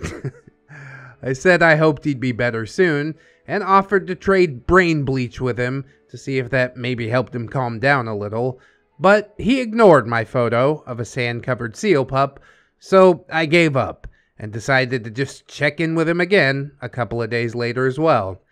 I don't like to believe in jinxes, but I decided not to talk to anyone else that day. YouTube and television were the order for the rest of the day. Yo, what uh YouTube channel you watching over there? Not to plug myself too hard, especially to somebody who clearly already knows about the channel. Never mind. Moving on. There's one person in my life who I can almost always rely on for a nice dose of sanity, and that's Robin, my partner, who's been helping me out with the writing business for a long time now. I talked the whole thing over with Robin, and he offered to take a look at my terms of service to make sure that it covered as many of the bases that Octo had, uh, let's say, shown some light on as possible. The end result, we now had an updated and tightened up terms of service, plus a shorter document called Six Things to Consider for new customers who really cannot be bothered to look at the TOS. And I think there's probably a lot of those. So that sounds constructive at the very least. I do like that. You're making a good thing out of a bad thing, and I gotta pat you on the back for it. I'm also considering charging customers at a higher rate if they can't provide evidence. It's a special quote word I use in my pre commission survey that they have read either. Read your artist's terms, people. Just stick a random phrase in there and ask them what it is.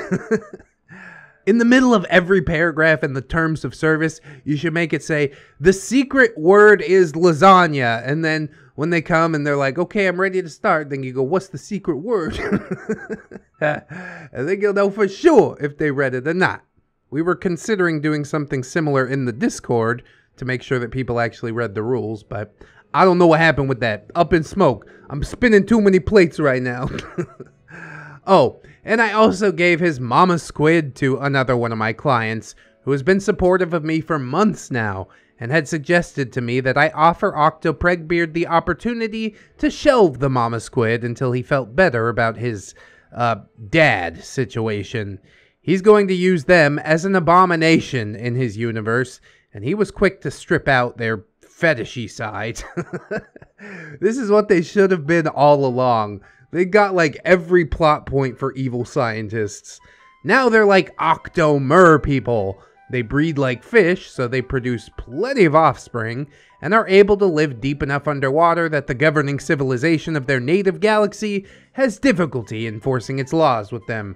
Yeah, I'm underwater, come and get me, bitch! you can't tell me what to do! I live 40 leagues under the sea, son! We're gonna start a new life under the sea.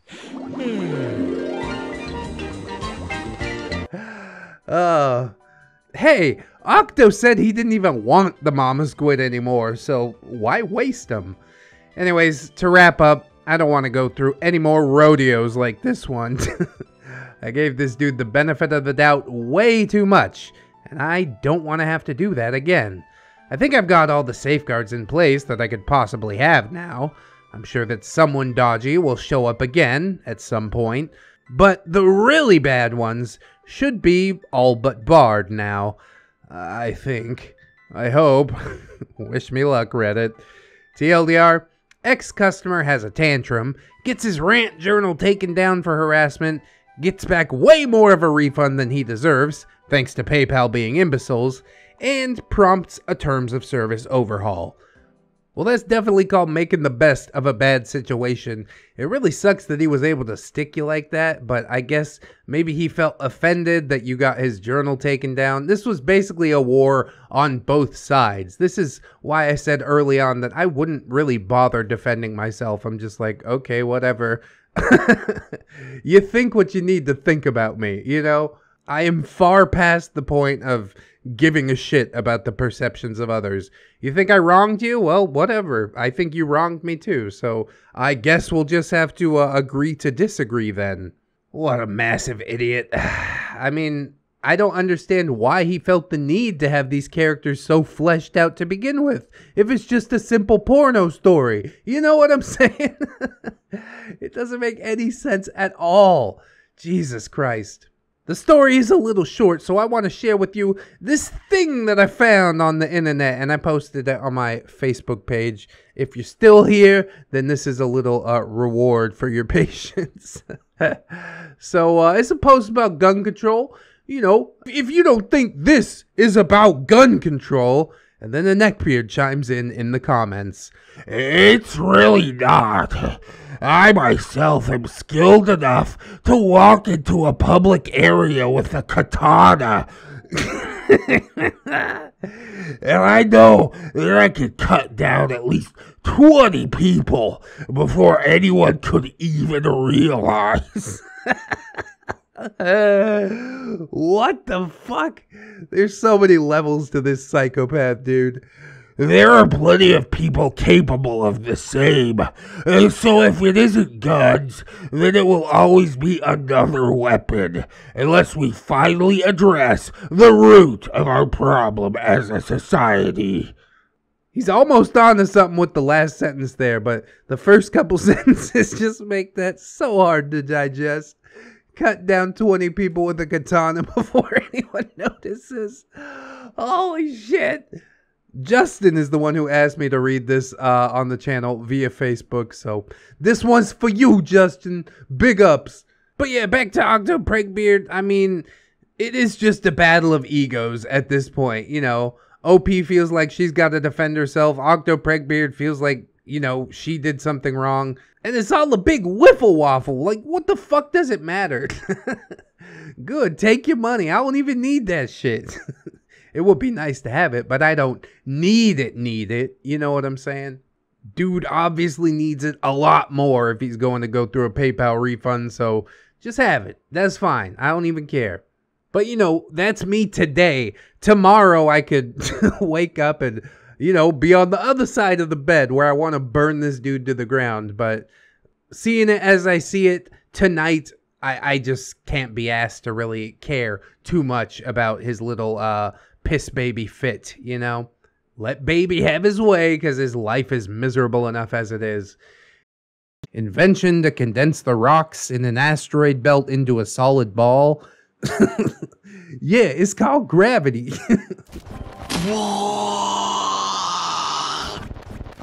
Octo Pregbeard, or Why I Don't Take Fetish Commissions, Part 5. The final part, maybe. Hello again, readers. I'm a writing coach, and I tell the occasional story about my most neckbeardy customers and the general weirdness that I encounter in my line of work, anonymized, of course, to protect both the innocent and the bearded. I go by the name Anonymous Griper, and I am at your service. Although, if you would like some help from uh, Anonymous Griper, I have her Patreon link in the description and she is indeed quite helpful with the writing services. Hopefully, you can head on over there and give her some uh, relatively normal work so she doesn't have to deal with people like this anymore. Anyways, here's our cast list. We got OP, a writing coach based in Wales, UK. I specialize in helping people with science fiction and fantasy stories. Octo Pregbeard, Octo for short, is a customer of mine with a fetish for pregnant women specifically pregnant squid women. Mama Squid is Octopregbeard's fictional species, humanoid yet somehow boneless. Boneless pizza. Yum. yeah, pizza. What you want? Let me get a, a boneless pizza. They're victims of a virus that wiped out 95% of their female population, or maybe 80% of their entire population based on the uh, previous post. They're now trying to repopulate regardless. And surely the whole world needs to hear this tale. Surely there is no way that this series of books or whatever could fail, right? Maybe. Now, before I get stuck into writing this part, if you want to read this saga from the start, you can find part one here. Yes, indeed. Those links also in the description and on the title card, which I mentioned in the intro. Uh, you can scroll back and find that if you missed the previous parts. But now, let's get to that freaky Patreon pledge. the best kind of Patreon pledge. Oh, not freaky in the fun way? Okay, got you. Octo Pregbeard has been an off and on Patreon supporter for some time, but he tended not to stick to the same pledge tier for longer than a month or two. Then came this strangeness. A couple of weeks ago, on a Wednesday, he told me that he wanted to restart pledging after a break, but he wasn't sure how stable his finances would be for a while, so he wanted to pay me for a year's worth of Patreon support up front. Um, I'm not gonna. I can't, dude. As much as I would enjoy like a lump sum of cash coming my way, I can't promise that I would be like physically capable or mentally capable of keeping track or remembering how far along we are into that year of Patreon support. But then again, I'm just a guy with a YouTube channel. I'm not really like a legitimate businessman. As I'm sure many of my Patreons will tell you. I didn't understand his logic at this time, but okay, I was happy to accept a donation. this pledge would come to 175 pounds. No small amount for me. For reference, that's like a third of my rent or a month worth of groceries for me and my partner. We arranged for the payment to go ahead on Thursday, the next day. Thursday came and went, and I didn't get his payment. yeah, I could have seen this one coming. Friday came, and by Friday evening, my time, I still had not received that payment, so I dropped him a message to ask about it. He told me that he miscalculated his finances and couldn't pay it after all. Yeah, gotta keep room for the Funko Pops and Gundam figurines in the budget, right? oh boy. I mean, I understand OP's running a business and all, but like I've said many times about my Patreon, if you can't afford it, that's cool. If you want to watch the live streams or whatever that are hidden over there, just ask me for the link. I will drop you the link. You don't need to give me money. I live a very comfortable life thanks to YouTube. I love my patrons. They help to push the channel forward, but I would be very remiss to become the cause of anybody's financial failings. Now, I don't generally push people to pay me. Good. Regardless of whether that's for commissions or pledges. But I felt that it wasn't right for him to offer so much only to go back on his word especially as he apparently hadn't thought about it enough to make double sure before he made such an offer. I pushed lightly by telling him that that money would have made a significant difference to me. He apologized and said uh, he'd look at his finances to work out if maybe he could pay another way. Yeah, up on Craigslist, sell some of them Funko Pops. Surely they retain their value. uh, as it turned out, he realized within two minutes that he could. And he did so.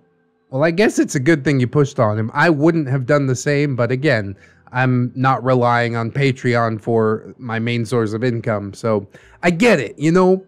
Immediately afterwards, he told me he had a terrible day. Aw. In fact, he wrote a journal post about it and sent me the link. oh, God. In short, his dad had a medical emergency and something bad had happened at his place of work.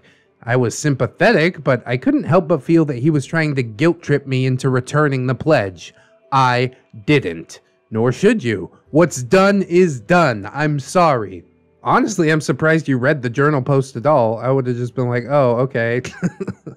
Thanks for sending me this thing, TLDR. I'd like to clarify here that if he had stuck by his guns about not being able to afford the pledge, I wouldn't have pushed again. It was very much up to him about whether he kept his word or not. And I know that circumstances change. My main beef here was why promise such a large amount without any due planning? I guess he's trying to flex, but yeah, you shouldn't flex if you ain't got money to back it up. Like, I don't understand either why he's uh, dumping this chunk of change in your lap, particularly if it seems like he's having a hard time affording it. Just wait on the book for a little while or something. But, you know, maybe he sees it as an investment, you know, gotta invest in yourself and your pregnant Squid Girl book. Surely you're gonna make all his money back, right? For reals. Get it up on Amazon. It'll sell like hotcakes. Squid cakes, fish cakes.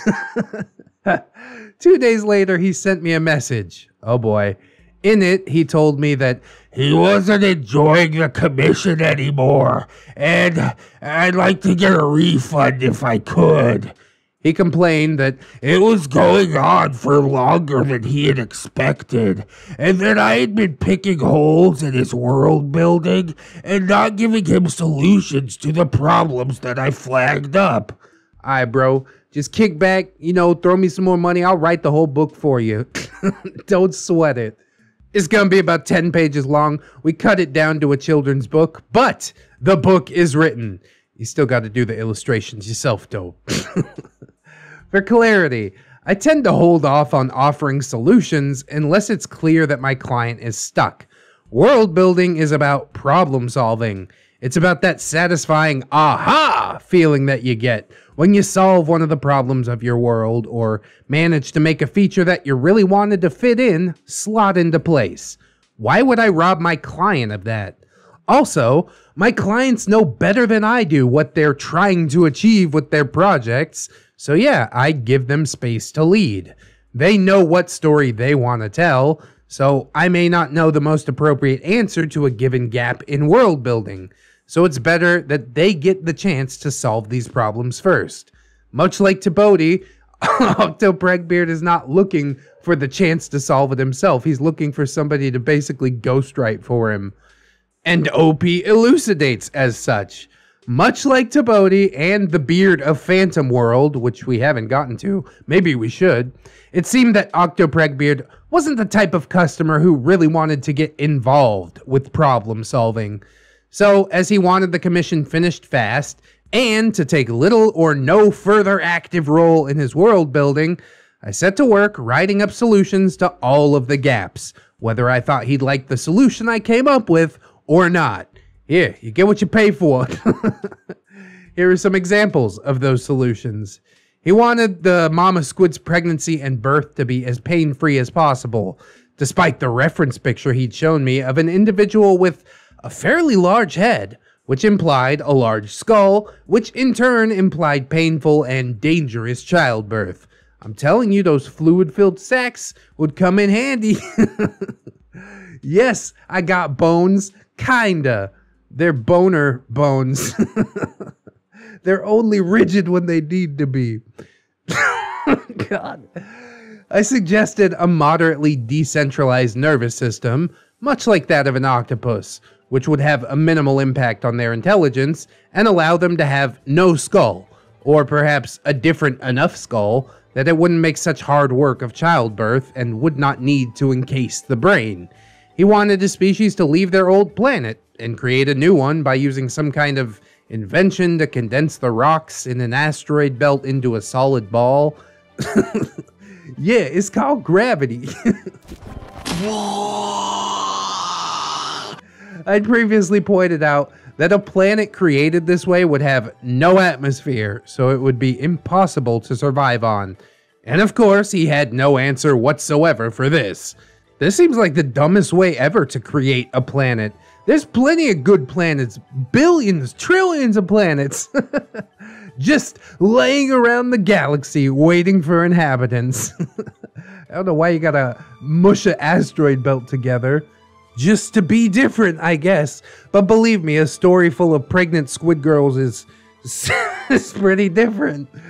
I revised this by saying they found a planet that was uninhabited by sapient life to live on. Duh.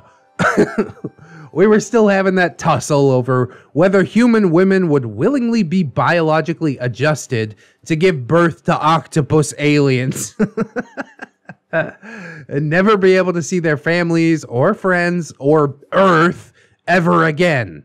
Most recently, he'd said, The people of Earth actually suggested the deal originally. The idea was, at the time, Earth was only just starting out with space exploration. And so when they learned that not only were they not alone, but that the galaxy had its own political stage, they approached the Mama Squid and offered their own people up as surrogates in exchange for a formal alliance. Yeah, kind of like countries being united by uh, a bond of marriage between royal families, except a lot creepier.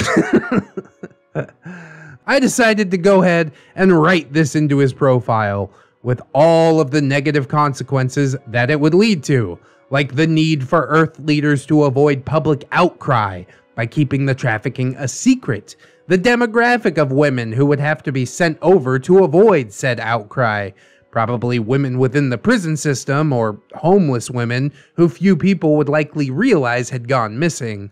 Those women's attempt to protect themselves or fight back or get home, the difficulty of forming a secret network to achieve any of that when living within a telepathic civilization. and so on. I mean, like I said before, Japan will probably do it. You just have to send the, the home videos back to Earth to be sold on the blackest of black markets. Hey, you want to see a movie? Nah, we're Japanese. Let's go watch a schoolgirl bang an octopus. Yeah! And then everything went to hell in a handbasket. It hadn't already?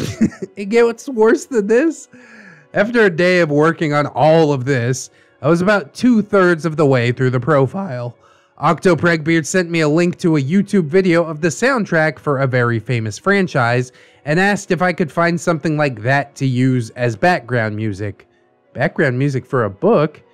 I said I would, and then casually added, Why did you go looking for music? Because you've been getting Google Docs updates all day by any chance? He said, Uh, no, that he had a panic attack that morning. Reader, remember me mentioning in the last part of this saga about how often Octopregbeard told me about the tragedies of his life and how he was quite possibly using that as leverage? Well, I thought about this latest possible attempt, and the next day, I raised that issue with him. I said I was sorry to hear that he'd had a panic attack, but asked why he had told me about it. I pointed out that there seemed to be a pattern to when he told me these things. And he said, He hadn't meant anything by it. I expressed concern that this was his way of trying to make me hurry up with his commission. He said, It wasn't. Although, as I said above, he had told me that he had expected the commission to be done by this time. I mean, I'm not really surprised that he's up to manipulation tactics, considering all the deep, dark secrets that we got from peeking inside his fucking psyche. But uh, I'm still a little lost on the soundtrack. Why do we need a soundtrack for a book? Can somebody help me here? Oh, maybe the comments will explain it. This is why I shouldn't record right before I go to bed. I bet the answer's like really obvious, isn't it? Maybe it's just old ReddX being a dum dum. I don't know. I thought carefully about how I wanted to phrase my next words. It felt as if he'd been using a manipulative strategy to get me to speed up, and was denying it the moment that I tried to be direct about it. Leaving the situation like that had only made the project devolve further to the point where he didn't even want to do it anymore. So I decided to tell him that his regular tragedies came off as emotionally manipulative. Oh boy, laying it down quite flat. But I guess this is uh, the only way to get through to somebody as thick headed as him.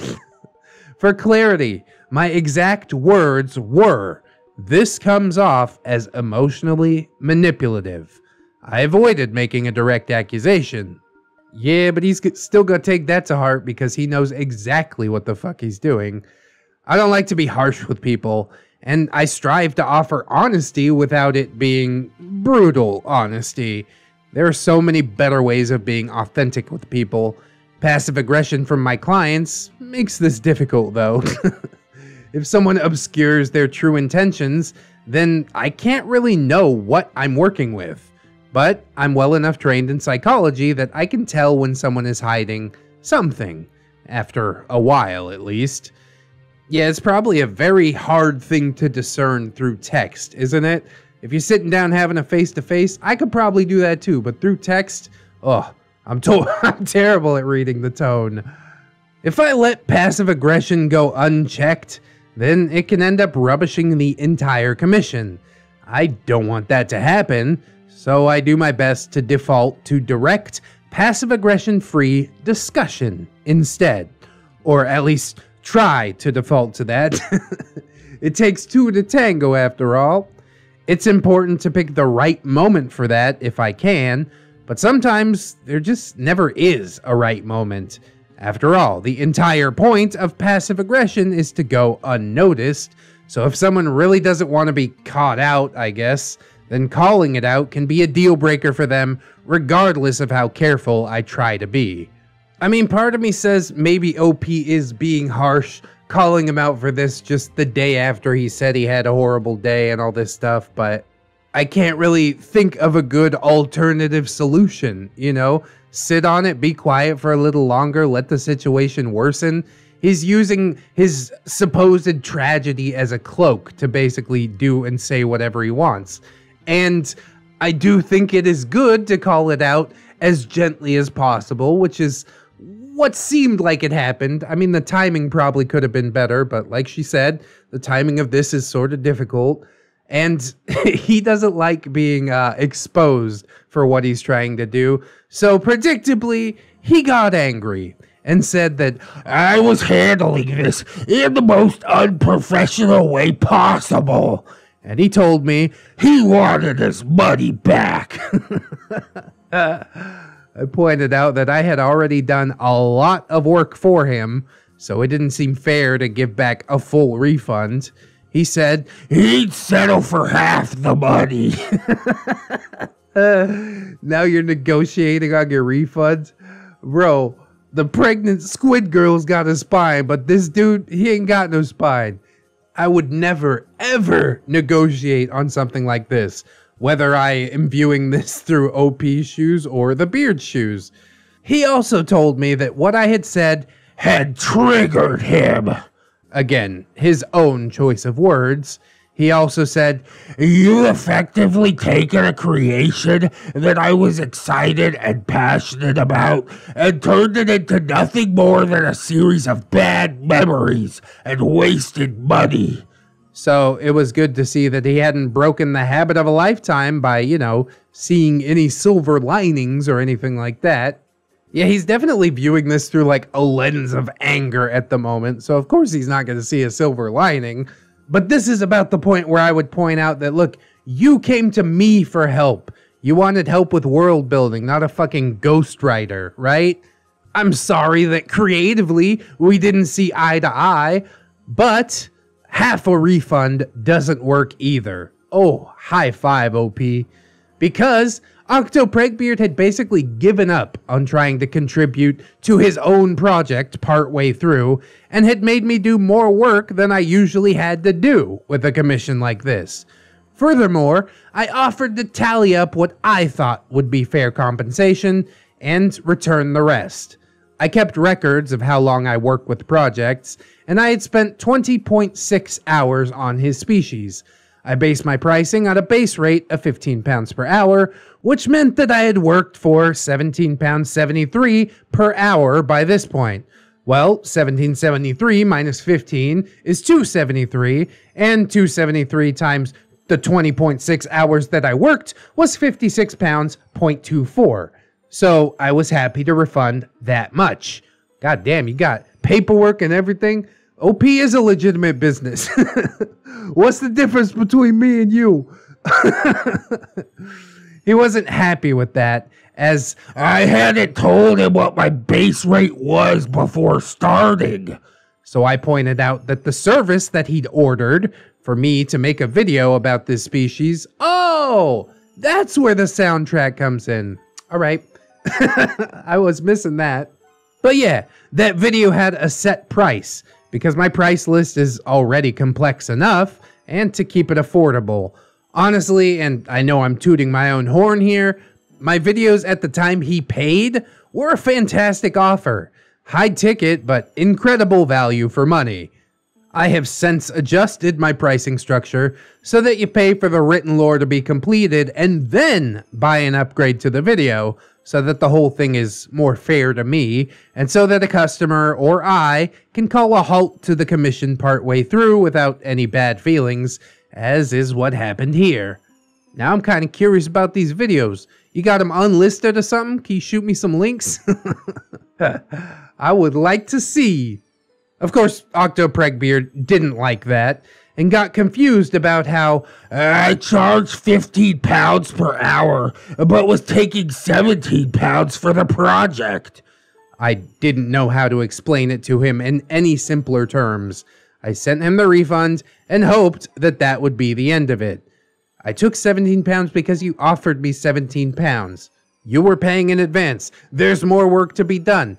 I don't know how many more ways you could possibly explain it. So yeah, here's your money. Bye. Leave me alone. Shut up and take my money. Of course, it wasn't the end of it. he complained that uh, he didn't agree with the amount of the refund, but gave me no explanation as to why, and said, I guess I'll take it. uh, God damn. Negotiating on a refund. I love it. Then he posted a ranty journal entry on one of his online platforms. We had a brief admin problem the following day with the return of the money. My control V buttons hate me, apparently, which I resolved. yeah, pasting is hard. and I ain't even coming at you, OP. I know because I've published at least two or three videos that are titled r slash subreddit. I will write a title here or something like that. It's like my placeholder. Sometimes I don't copy and paste the thing right. Anyways, he posted a second ranty journal entry the following day about the situation because fucking of course he did. His rant included how I hadn't communicated my concerns about the project, that I had turned the project into nothing but regrets, and how I shouldn't have been judgmental about his taste in porn. Which, by the way, he had never made clear that that was what his story was going to be. What's the meaning of this? I took your advice. From now on, I'm horny. Oh, it was pretty clear to everybody but you, OP. I saw this one coming a mile away. You thought it was gonna be a tasteful tale of love lost between pregnant squid girls? Nah, dog. Watching that unfold was amusing in itself. The first person to respond tried being edgy and accused me of getting triggered by the project. You guys have officially made me lose my marbles! Clearly having no idea that Octo Pregbeard himself had described himself as triggered in our DM conversation. Send that screenshot.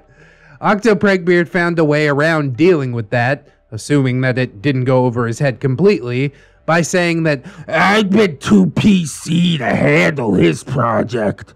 The second person to respond pointed out that, rightly or wrongly, people can and do form impressions of you based on your taste in porn. And that was something that he would probably just have to live with. Or, you know, stop telling people about your taste in porn. then nobody has any room to judge. You let them assume, but that's fine. Also, I'm really surprised that people are actually responding to this. Does he actually have a following somewhere? I am fucking shocked. This person also said that they had written a number of erotic stories in their time and never needed to do world building for that, so yeah, go figure. If he wanted to road test his story idea to see whether my reaction had been a one off or typical of most people's possible response, then perhaps he should describe his project in a writing subreddit to see what people said. My gut says he's not going to do that. because even people on Reddit would be horrified. I spend my day digging through cringe, and I still found so much to mock and be horrified about in just this online interaction. She never met him in real life, thank God. I know enough about him to know that he is a freaking weird dude. I don't really know if this saga is over, probably because I blocked him so I wouldn't have to deal with any more crap from him, but I might keep an eye on his vent journals just to see if any more comes of them. If nothing else comes up, then thanks for reading, and goodbye, my friends. TLDR, Beard customer offers a large sum of money that he couldn't easily afford, emotionally blackmails me, leaves his side of the work to me, and then gets angry when I only give a partial refund, and shouts publicly about of it all. uh, what an idiot! I mean, I could have told you one way or the other that this project was going to end poorly, even if it had been 100% completed in the allotted time or whatever he expected. it was not going to end well. Just based on what the hell we're dealing with here, I can't get behind it. I just can't. He is uh, a dude with some very deep seated demons that he needs to root out before ever putting himself in the public eye. Again, I'm shocked that anybody is following this dude and listening to what he has to say. He seems like a complete nut job. He can't even do math. I don't understand why the numbers work this way. Just shut up, take your partial refund, okay? If you was a real man, you'd stick by your words. You wouldn't talk about some shit and then not do it, right? At least do it eventually. At least at some point in the future. Say, oh, I can't work it out right now. In a month, I'll put some money aside week by week and I can pay you this next month. But again, he's not good with numbers. He's only good at two things pregnant chicks and, and squid girls. It's all I know about him. It's all I need to know. Definitely a, a class A creep, and I thank you so much for bringing this to us. I hope that you guys enjoyed the saga. If you did, I hope you'll like, comment, and or subscribe. Maybe share it around. That would be like the most MVP play. We've also got all kinds of plugs and playlists and podcasts in the description. If you'd like to check out something different from ReddX, that would be pretty cool. We've got uh, social medias as well Twitter, Discord, Facebook. Come on through, say hello. I would appreciate it. We've also got my gorgeous, wonderful, beautiful, generous patrons, and I would like to thank them as I do every video. So thank you very much. Robert Wakes, Baron Waggy Pants, Jarhead Jerry, Oorah, River Jerry, Boo Boo, Rogue, TSM Kirby, Twisted Child, Captain Clown Jerry, Hong Kong, Cinema Susie, Fire Drake, Giggle Jerry, Latin, Listen loves Jerry, so does ReddX, Silent Revolver, Sergeant Jelly Donut, Sundari Jerry, Baka, Aaron W, Althea Blue, Anunnaki, Asian Persuasion Jerry, yeah, Assassin Pug Jerry, Bang Bang, Grizzly, Bailey Joy, Bearded Jerry, watch out for that guy. Becca, Bitch Gremlin, Blade, the hero, Blameless Fish, Bloop Bloop Jerry, Camille Sarah, Cherish Kitsune, Commander J Tank, Princess Furry Worry, Ooh Jerry, Deltarune Jerry, Dennis Dayton. I'm still kind of weirded out by that, but okay. Dinosaur Nightlight, Disposable Waifu, Aaron Lennox, Gypsy, Hadrian BR, Heathcliff. It's Morphin time, Tom Power, Mr. Tom. Oh no, it's happening. a pimp named J. Chris. Yes, you have to say the whole thing. J.M. Coon, Jerry with an I. That is a different Jerry. The original Jerry, of course. Jerry. Jerry Blacktail, Jerry T. Harapist, Jerry the more Jerry than the other Jerry. John Hero, Sim Boofa because if you're boofing is free. Jerry. Tell it to the Jerry. ah, Kira M. Kitsikin. Crewhee. Is that? I don't know what that's referencing. I'm very scared. Lady Jerry Nix. Miss Monday. Little Lone Wolf. Lord Lionel. Jack's Rule. Vanilla Mel. Melgar the Destroyer. Mint Jerry Chip. The freshest of the Jerrys. I will say that about Mint Chip. Gives you a good mouthfeel. Thank you for making us feel like we brushed our teeth, when in actuality you are coating it in sugar. Mirthful Baker, my boy Nat and Nick, Natari, Nightmare Jerry, oh no! Origami Jerry, gotta fold them all, Phantom of the Pines, Jerrykins, and Jerry Beth. Sidestep, Redwind, Rosemary Miller, Satori, Cider Drinker, Serrated Ash, Staples, Jerry, Stephanie Gooder, Synaptic Boomstick, Brilliant Tamago, Tapioca Boogaloo, Tato Ferret, Turn into Police, Ten Ton Monster, the guy with the marble, I think their name's Jerry. I don't know why it's like Travolta voice. The one true Fusky, Token Black Jerry! Treeberg, Wilmags, you're a wizard, Jerry! Yet another different Jerry. 211 Jerry, the return of Jerry. A normal Jerry who is neighbor of 211 Jerry. Welcome back, Jerry. you guys are killing me. Uh, Hunter of Jerry, devourer of all things tasty, it is Tom. Ooh, there's two Toms and like 50 plus Jerrys. I worried too much. Admiral A Tech, Emera, AZ, Banished Knight, Barbushka's forgotten the joke. it happens, bro. Cake Jerry, the original different Jerry, California Jerry girl, yay, Carrot Jerry, goofy eyes, Chia CD, welcome to the fold, cha cha cha chia. Chris Meska, Cinnamon Bunny Dog, Crip Titties, Cuban Jerry, Smoke Some Witch Dog, Defon Jerry, Ghost of Alpha, Goose says honk, HMT, Mayor, Hydra Jerry, Irish Wish Watch. Jerry Aldo Rivera, Jerry Bean, Yum Yum, Jerry Roxers, yay, Jerry Zilla, defeated by the Toms. No, surely not. How could this come to pass? John Indoors, JRPG, that is Jerry Role Playing Game, aka Bloody Butterfly Gaming, KJW, Kajow, Crafty Kitty Cat, LaPG Jerry, Ooh, Life of a Guardian, Little Ann Woods, Hey, maybe next time, Midnight Sun, Milk Fed Gimp, Miss Duchess, Nagamai Origami Cam, Princess Rosalie Jerry, congrats on the marriage, Ghosty Riga, Raptor Art, Saints Blessing, Silurian King, Snarry, that's Snom Jerry, Spoonie the Rogue, Steampunk Ellie, the Necro Jerry Con, the not the original Jerry, and the most different Jerry, who might be. Oh, and also, uh, Magdalene Marshall Thornrose, who's supposed to be there somewhere. Ah, promise, swearsies, it's just a fact, and it's totally science. Go ahead and look it up, and by it, I mean another ReddX video, if you please. Thank you guys all so much for killing it on the Patreon. Good God. I would also like to give a huge, huge thanks to Farnham. Yes, indeed, down in them YouTube comments, paying tribute to his cringe distributor through PayPal. That is uh, quite a generous donation, my guy, and I am hugely appreciative for it. If anybody else would like to sign up on the Patreon, you know, stop by the PayPal, throw a little bit of money my way, I would appreciate that as well. But as I said in the story, I only want money from people who ain't gonna miss it. You know what I'm saying? The most important thing is you came through. You hung out with me today, and I hope that you come on back and do the same thing again tomorrow with a different video, though. You know what I'm talking about. In order to do so, you need to keep yourself safe out there, wash your hands, but also take some time out and do something that you personally enjoy today. Maybe like uh, watching some more ReddX videos. That'd be cool. Always remember, friends, that you are loved, you are worthy, and you definitely, definitely deserve it. I shall see you in the next one, and until then, bye bye.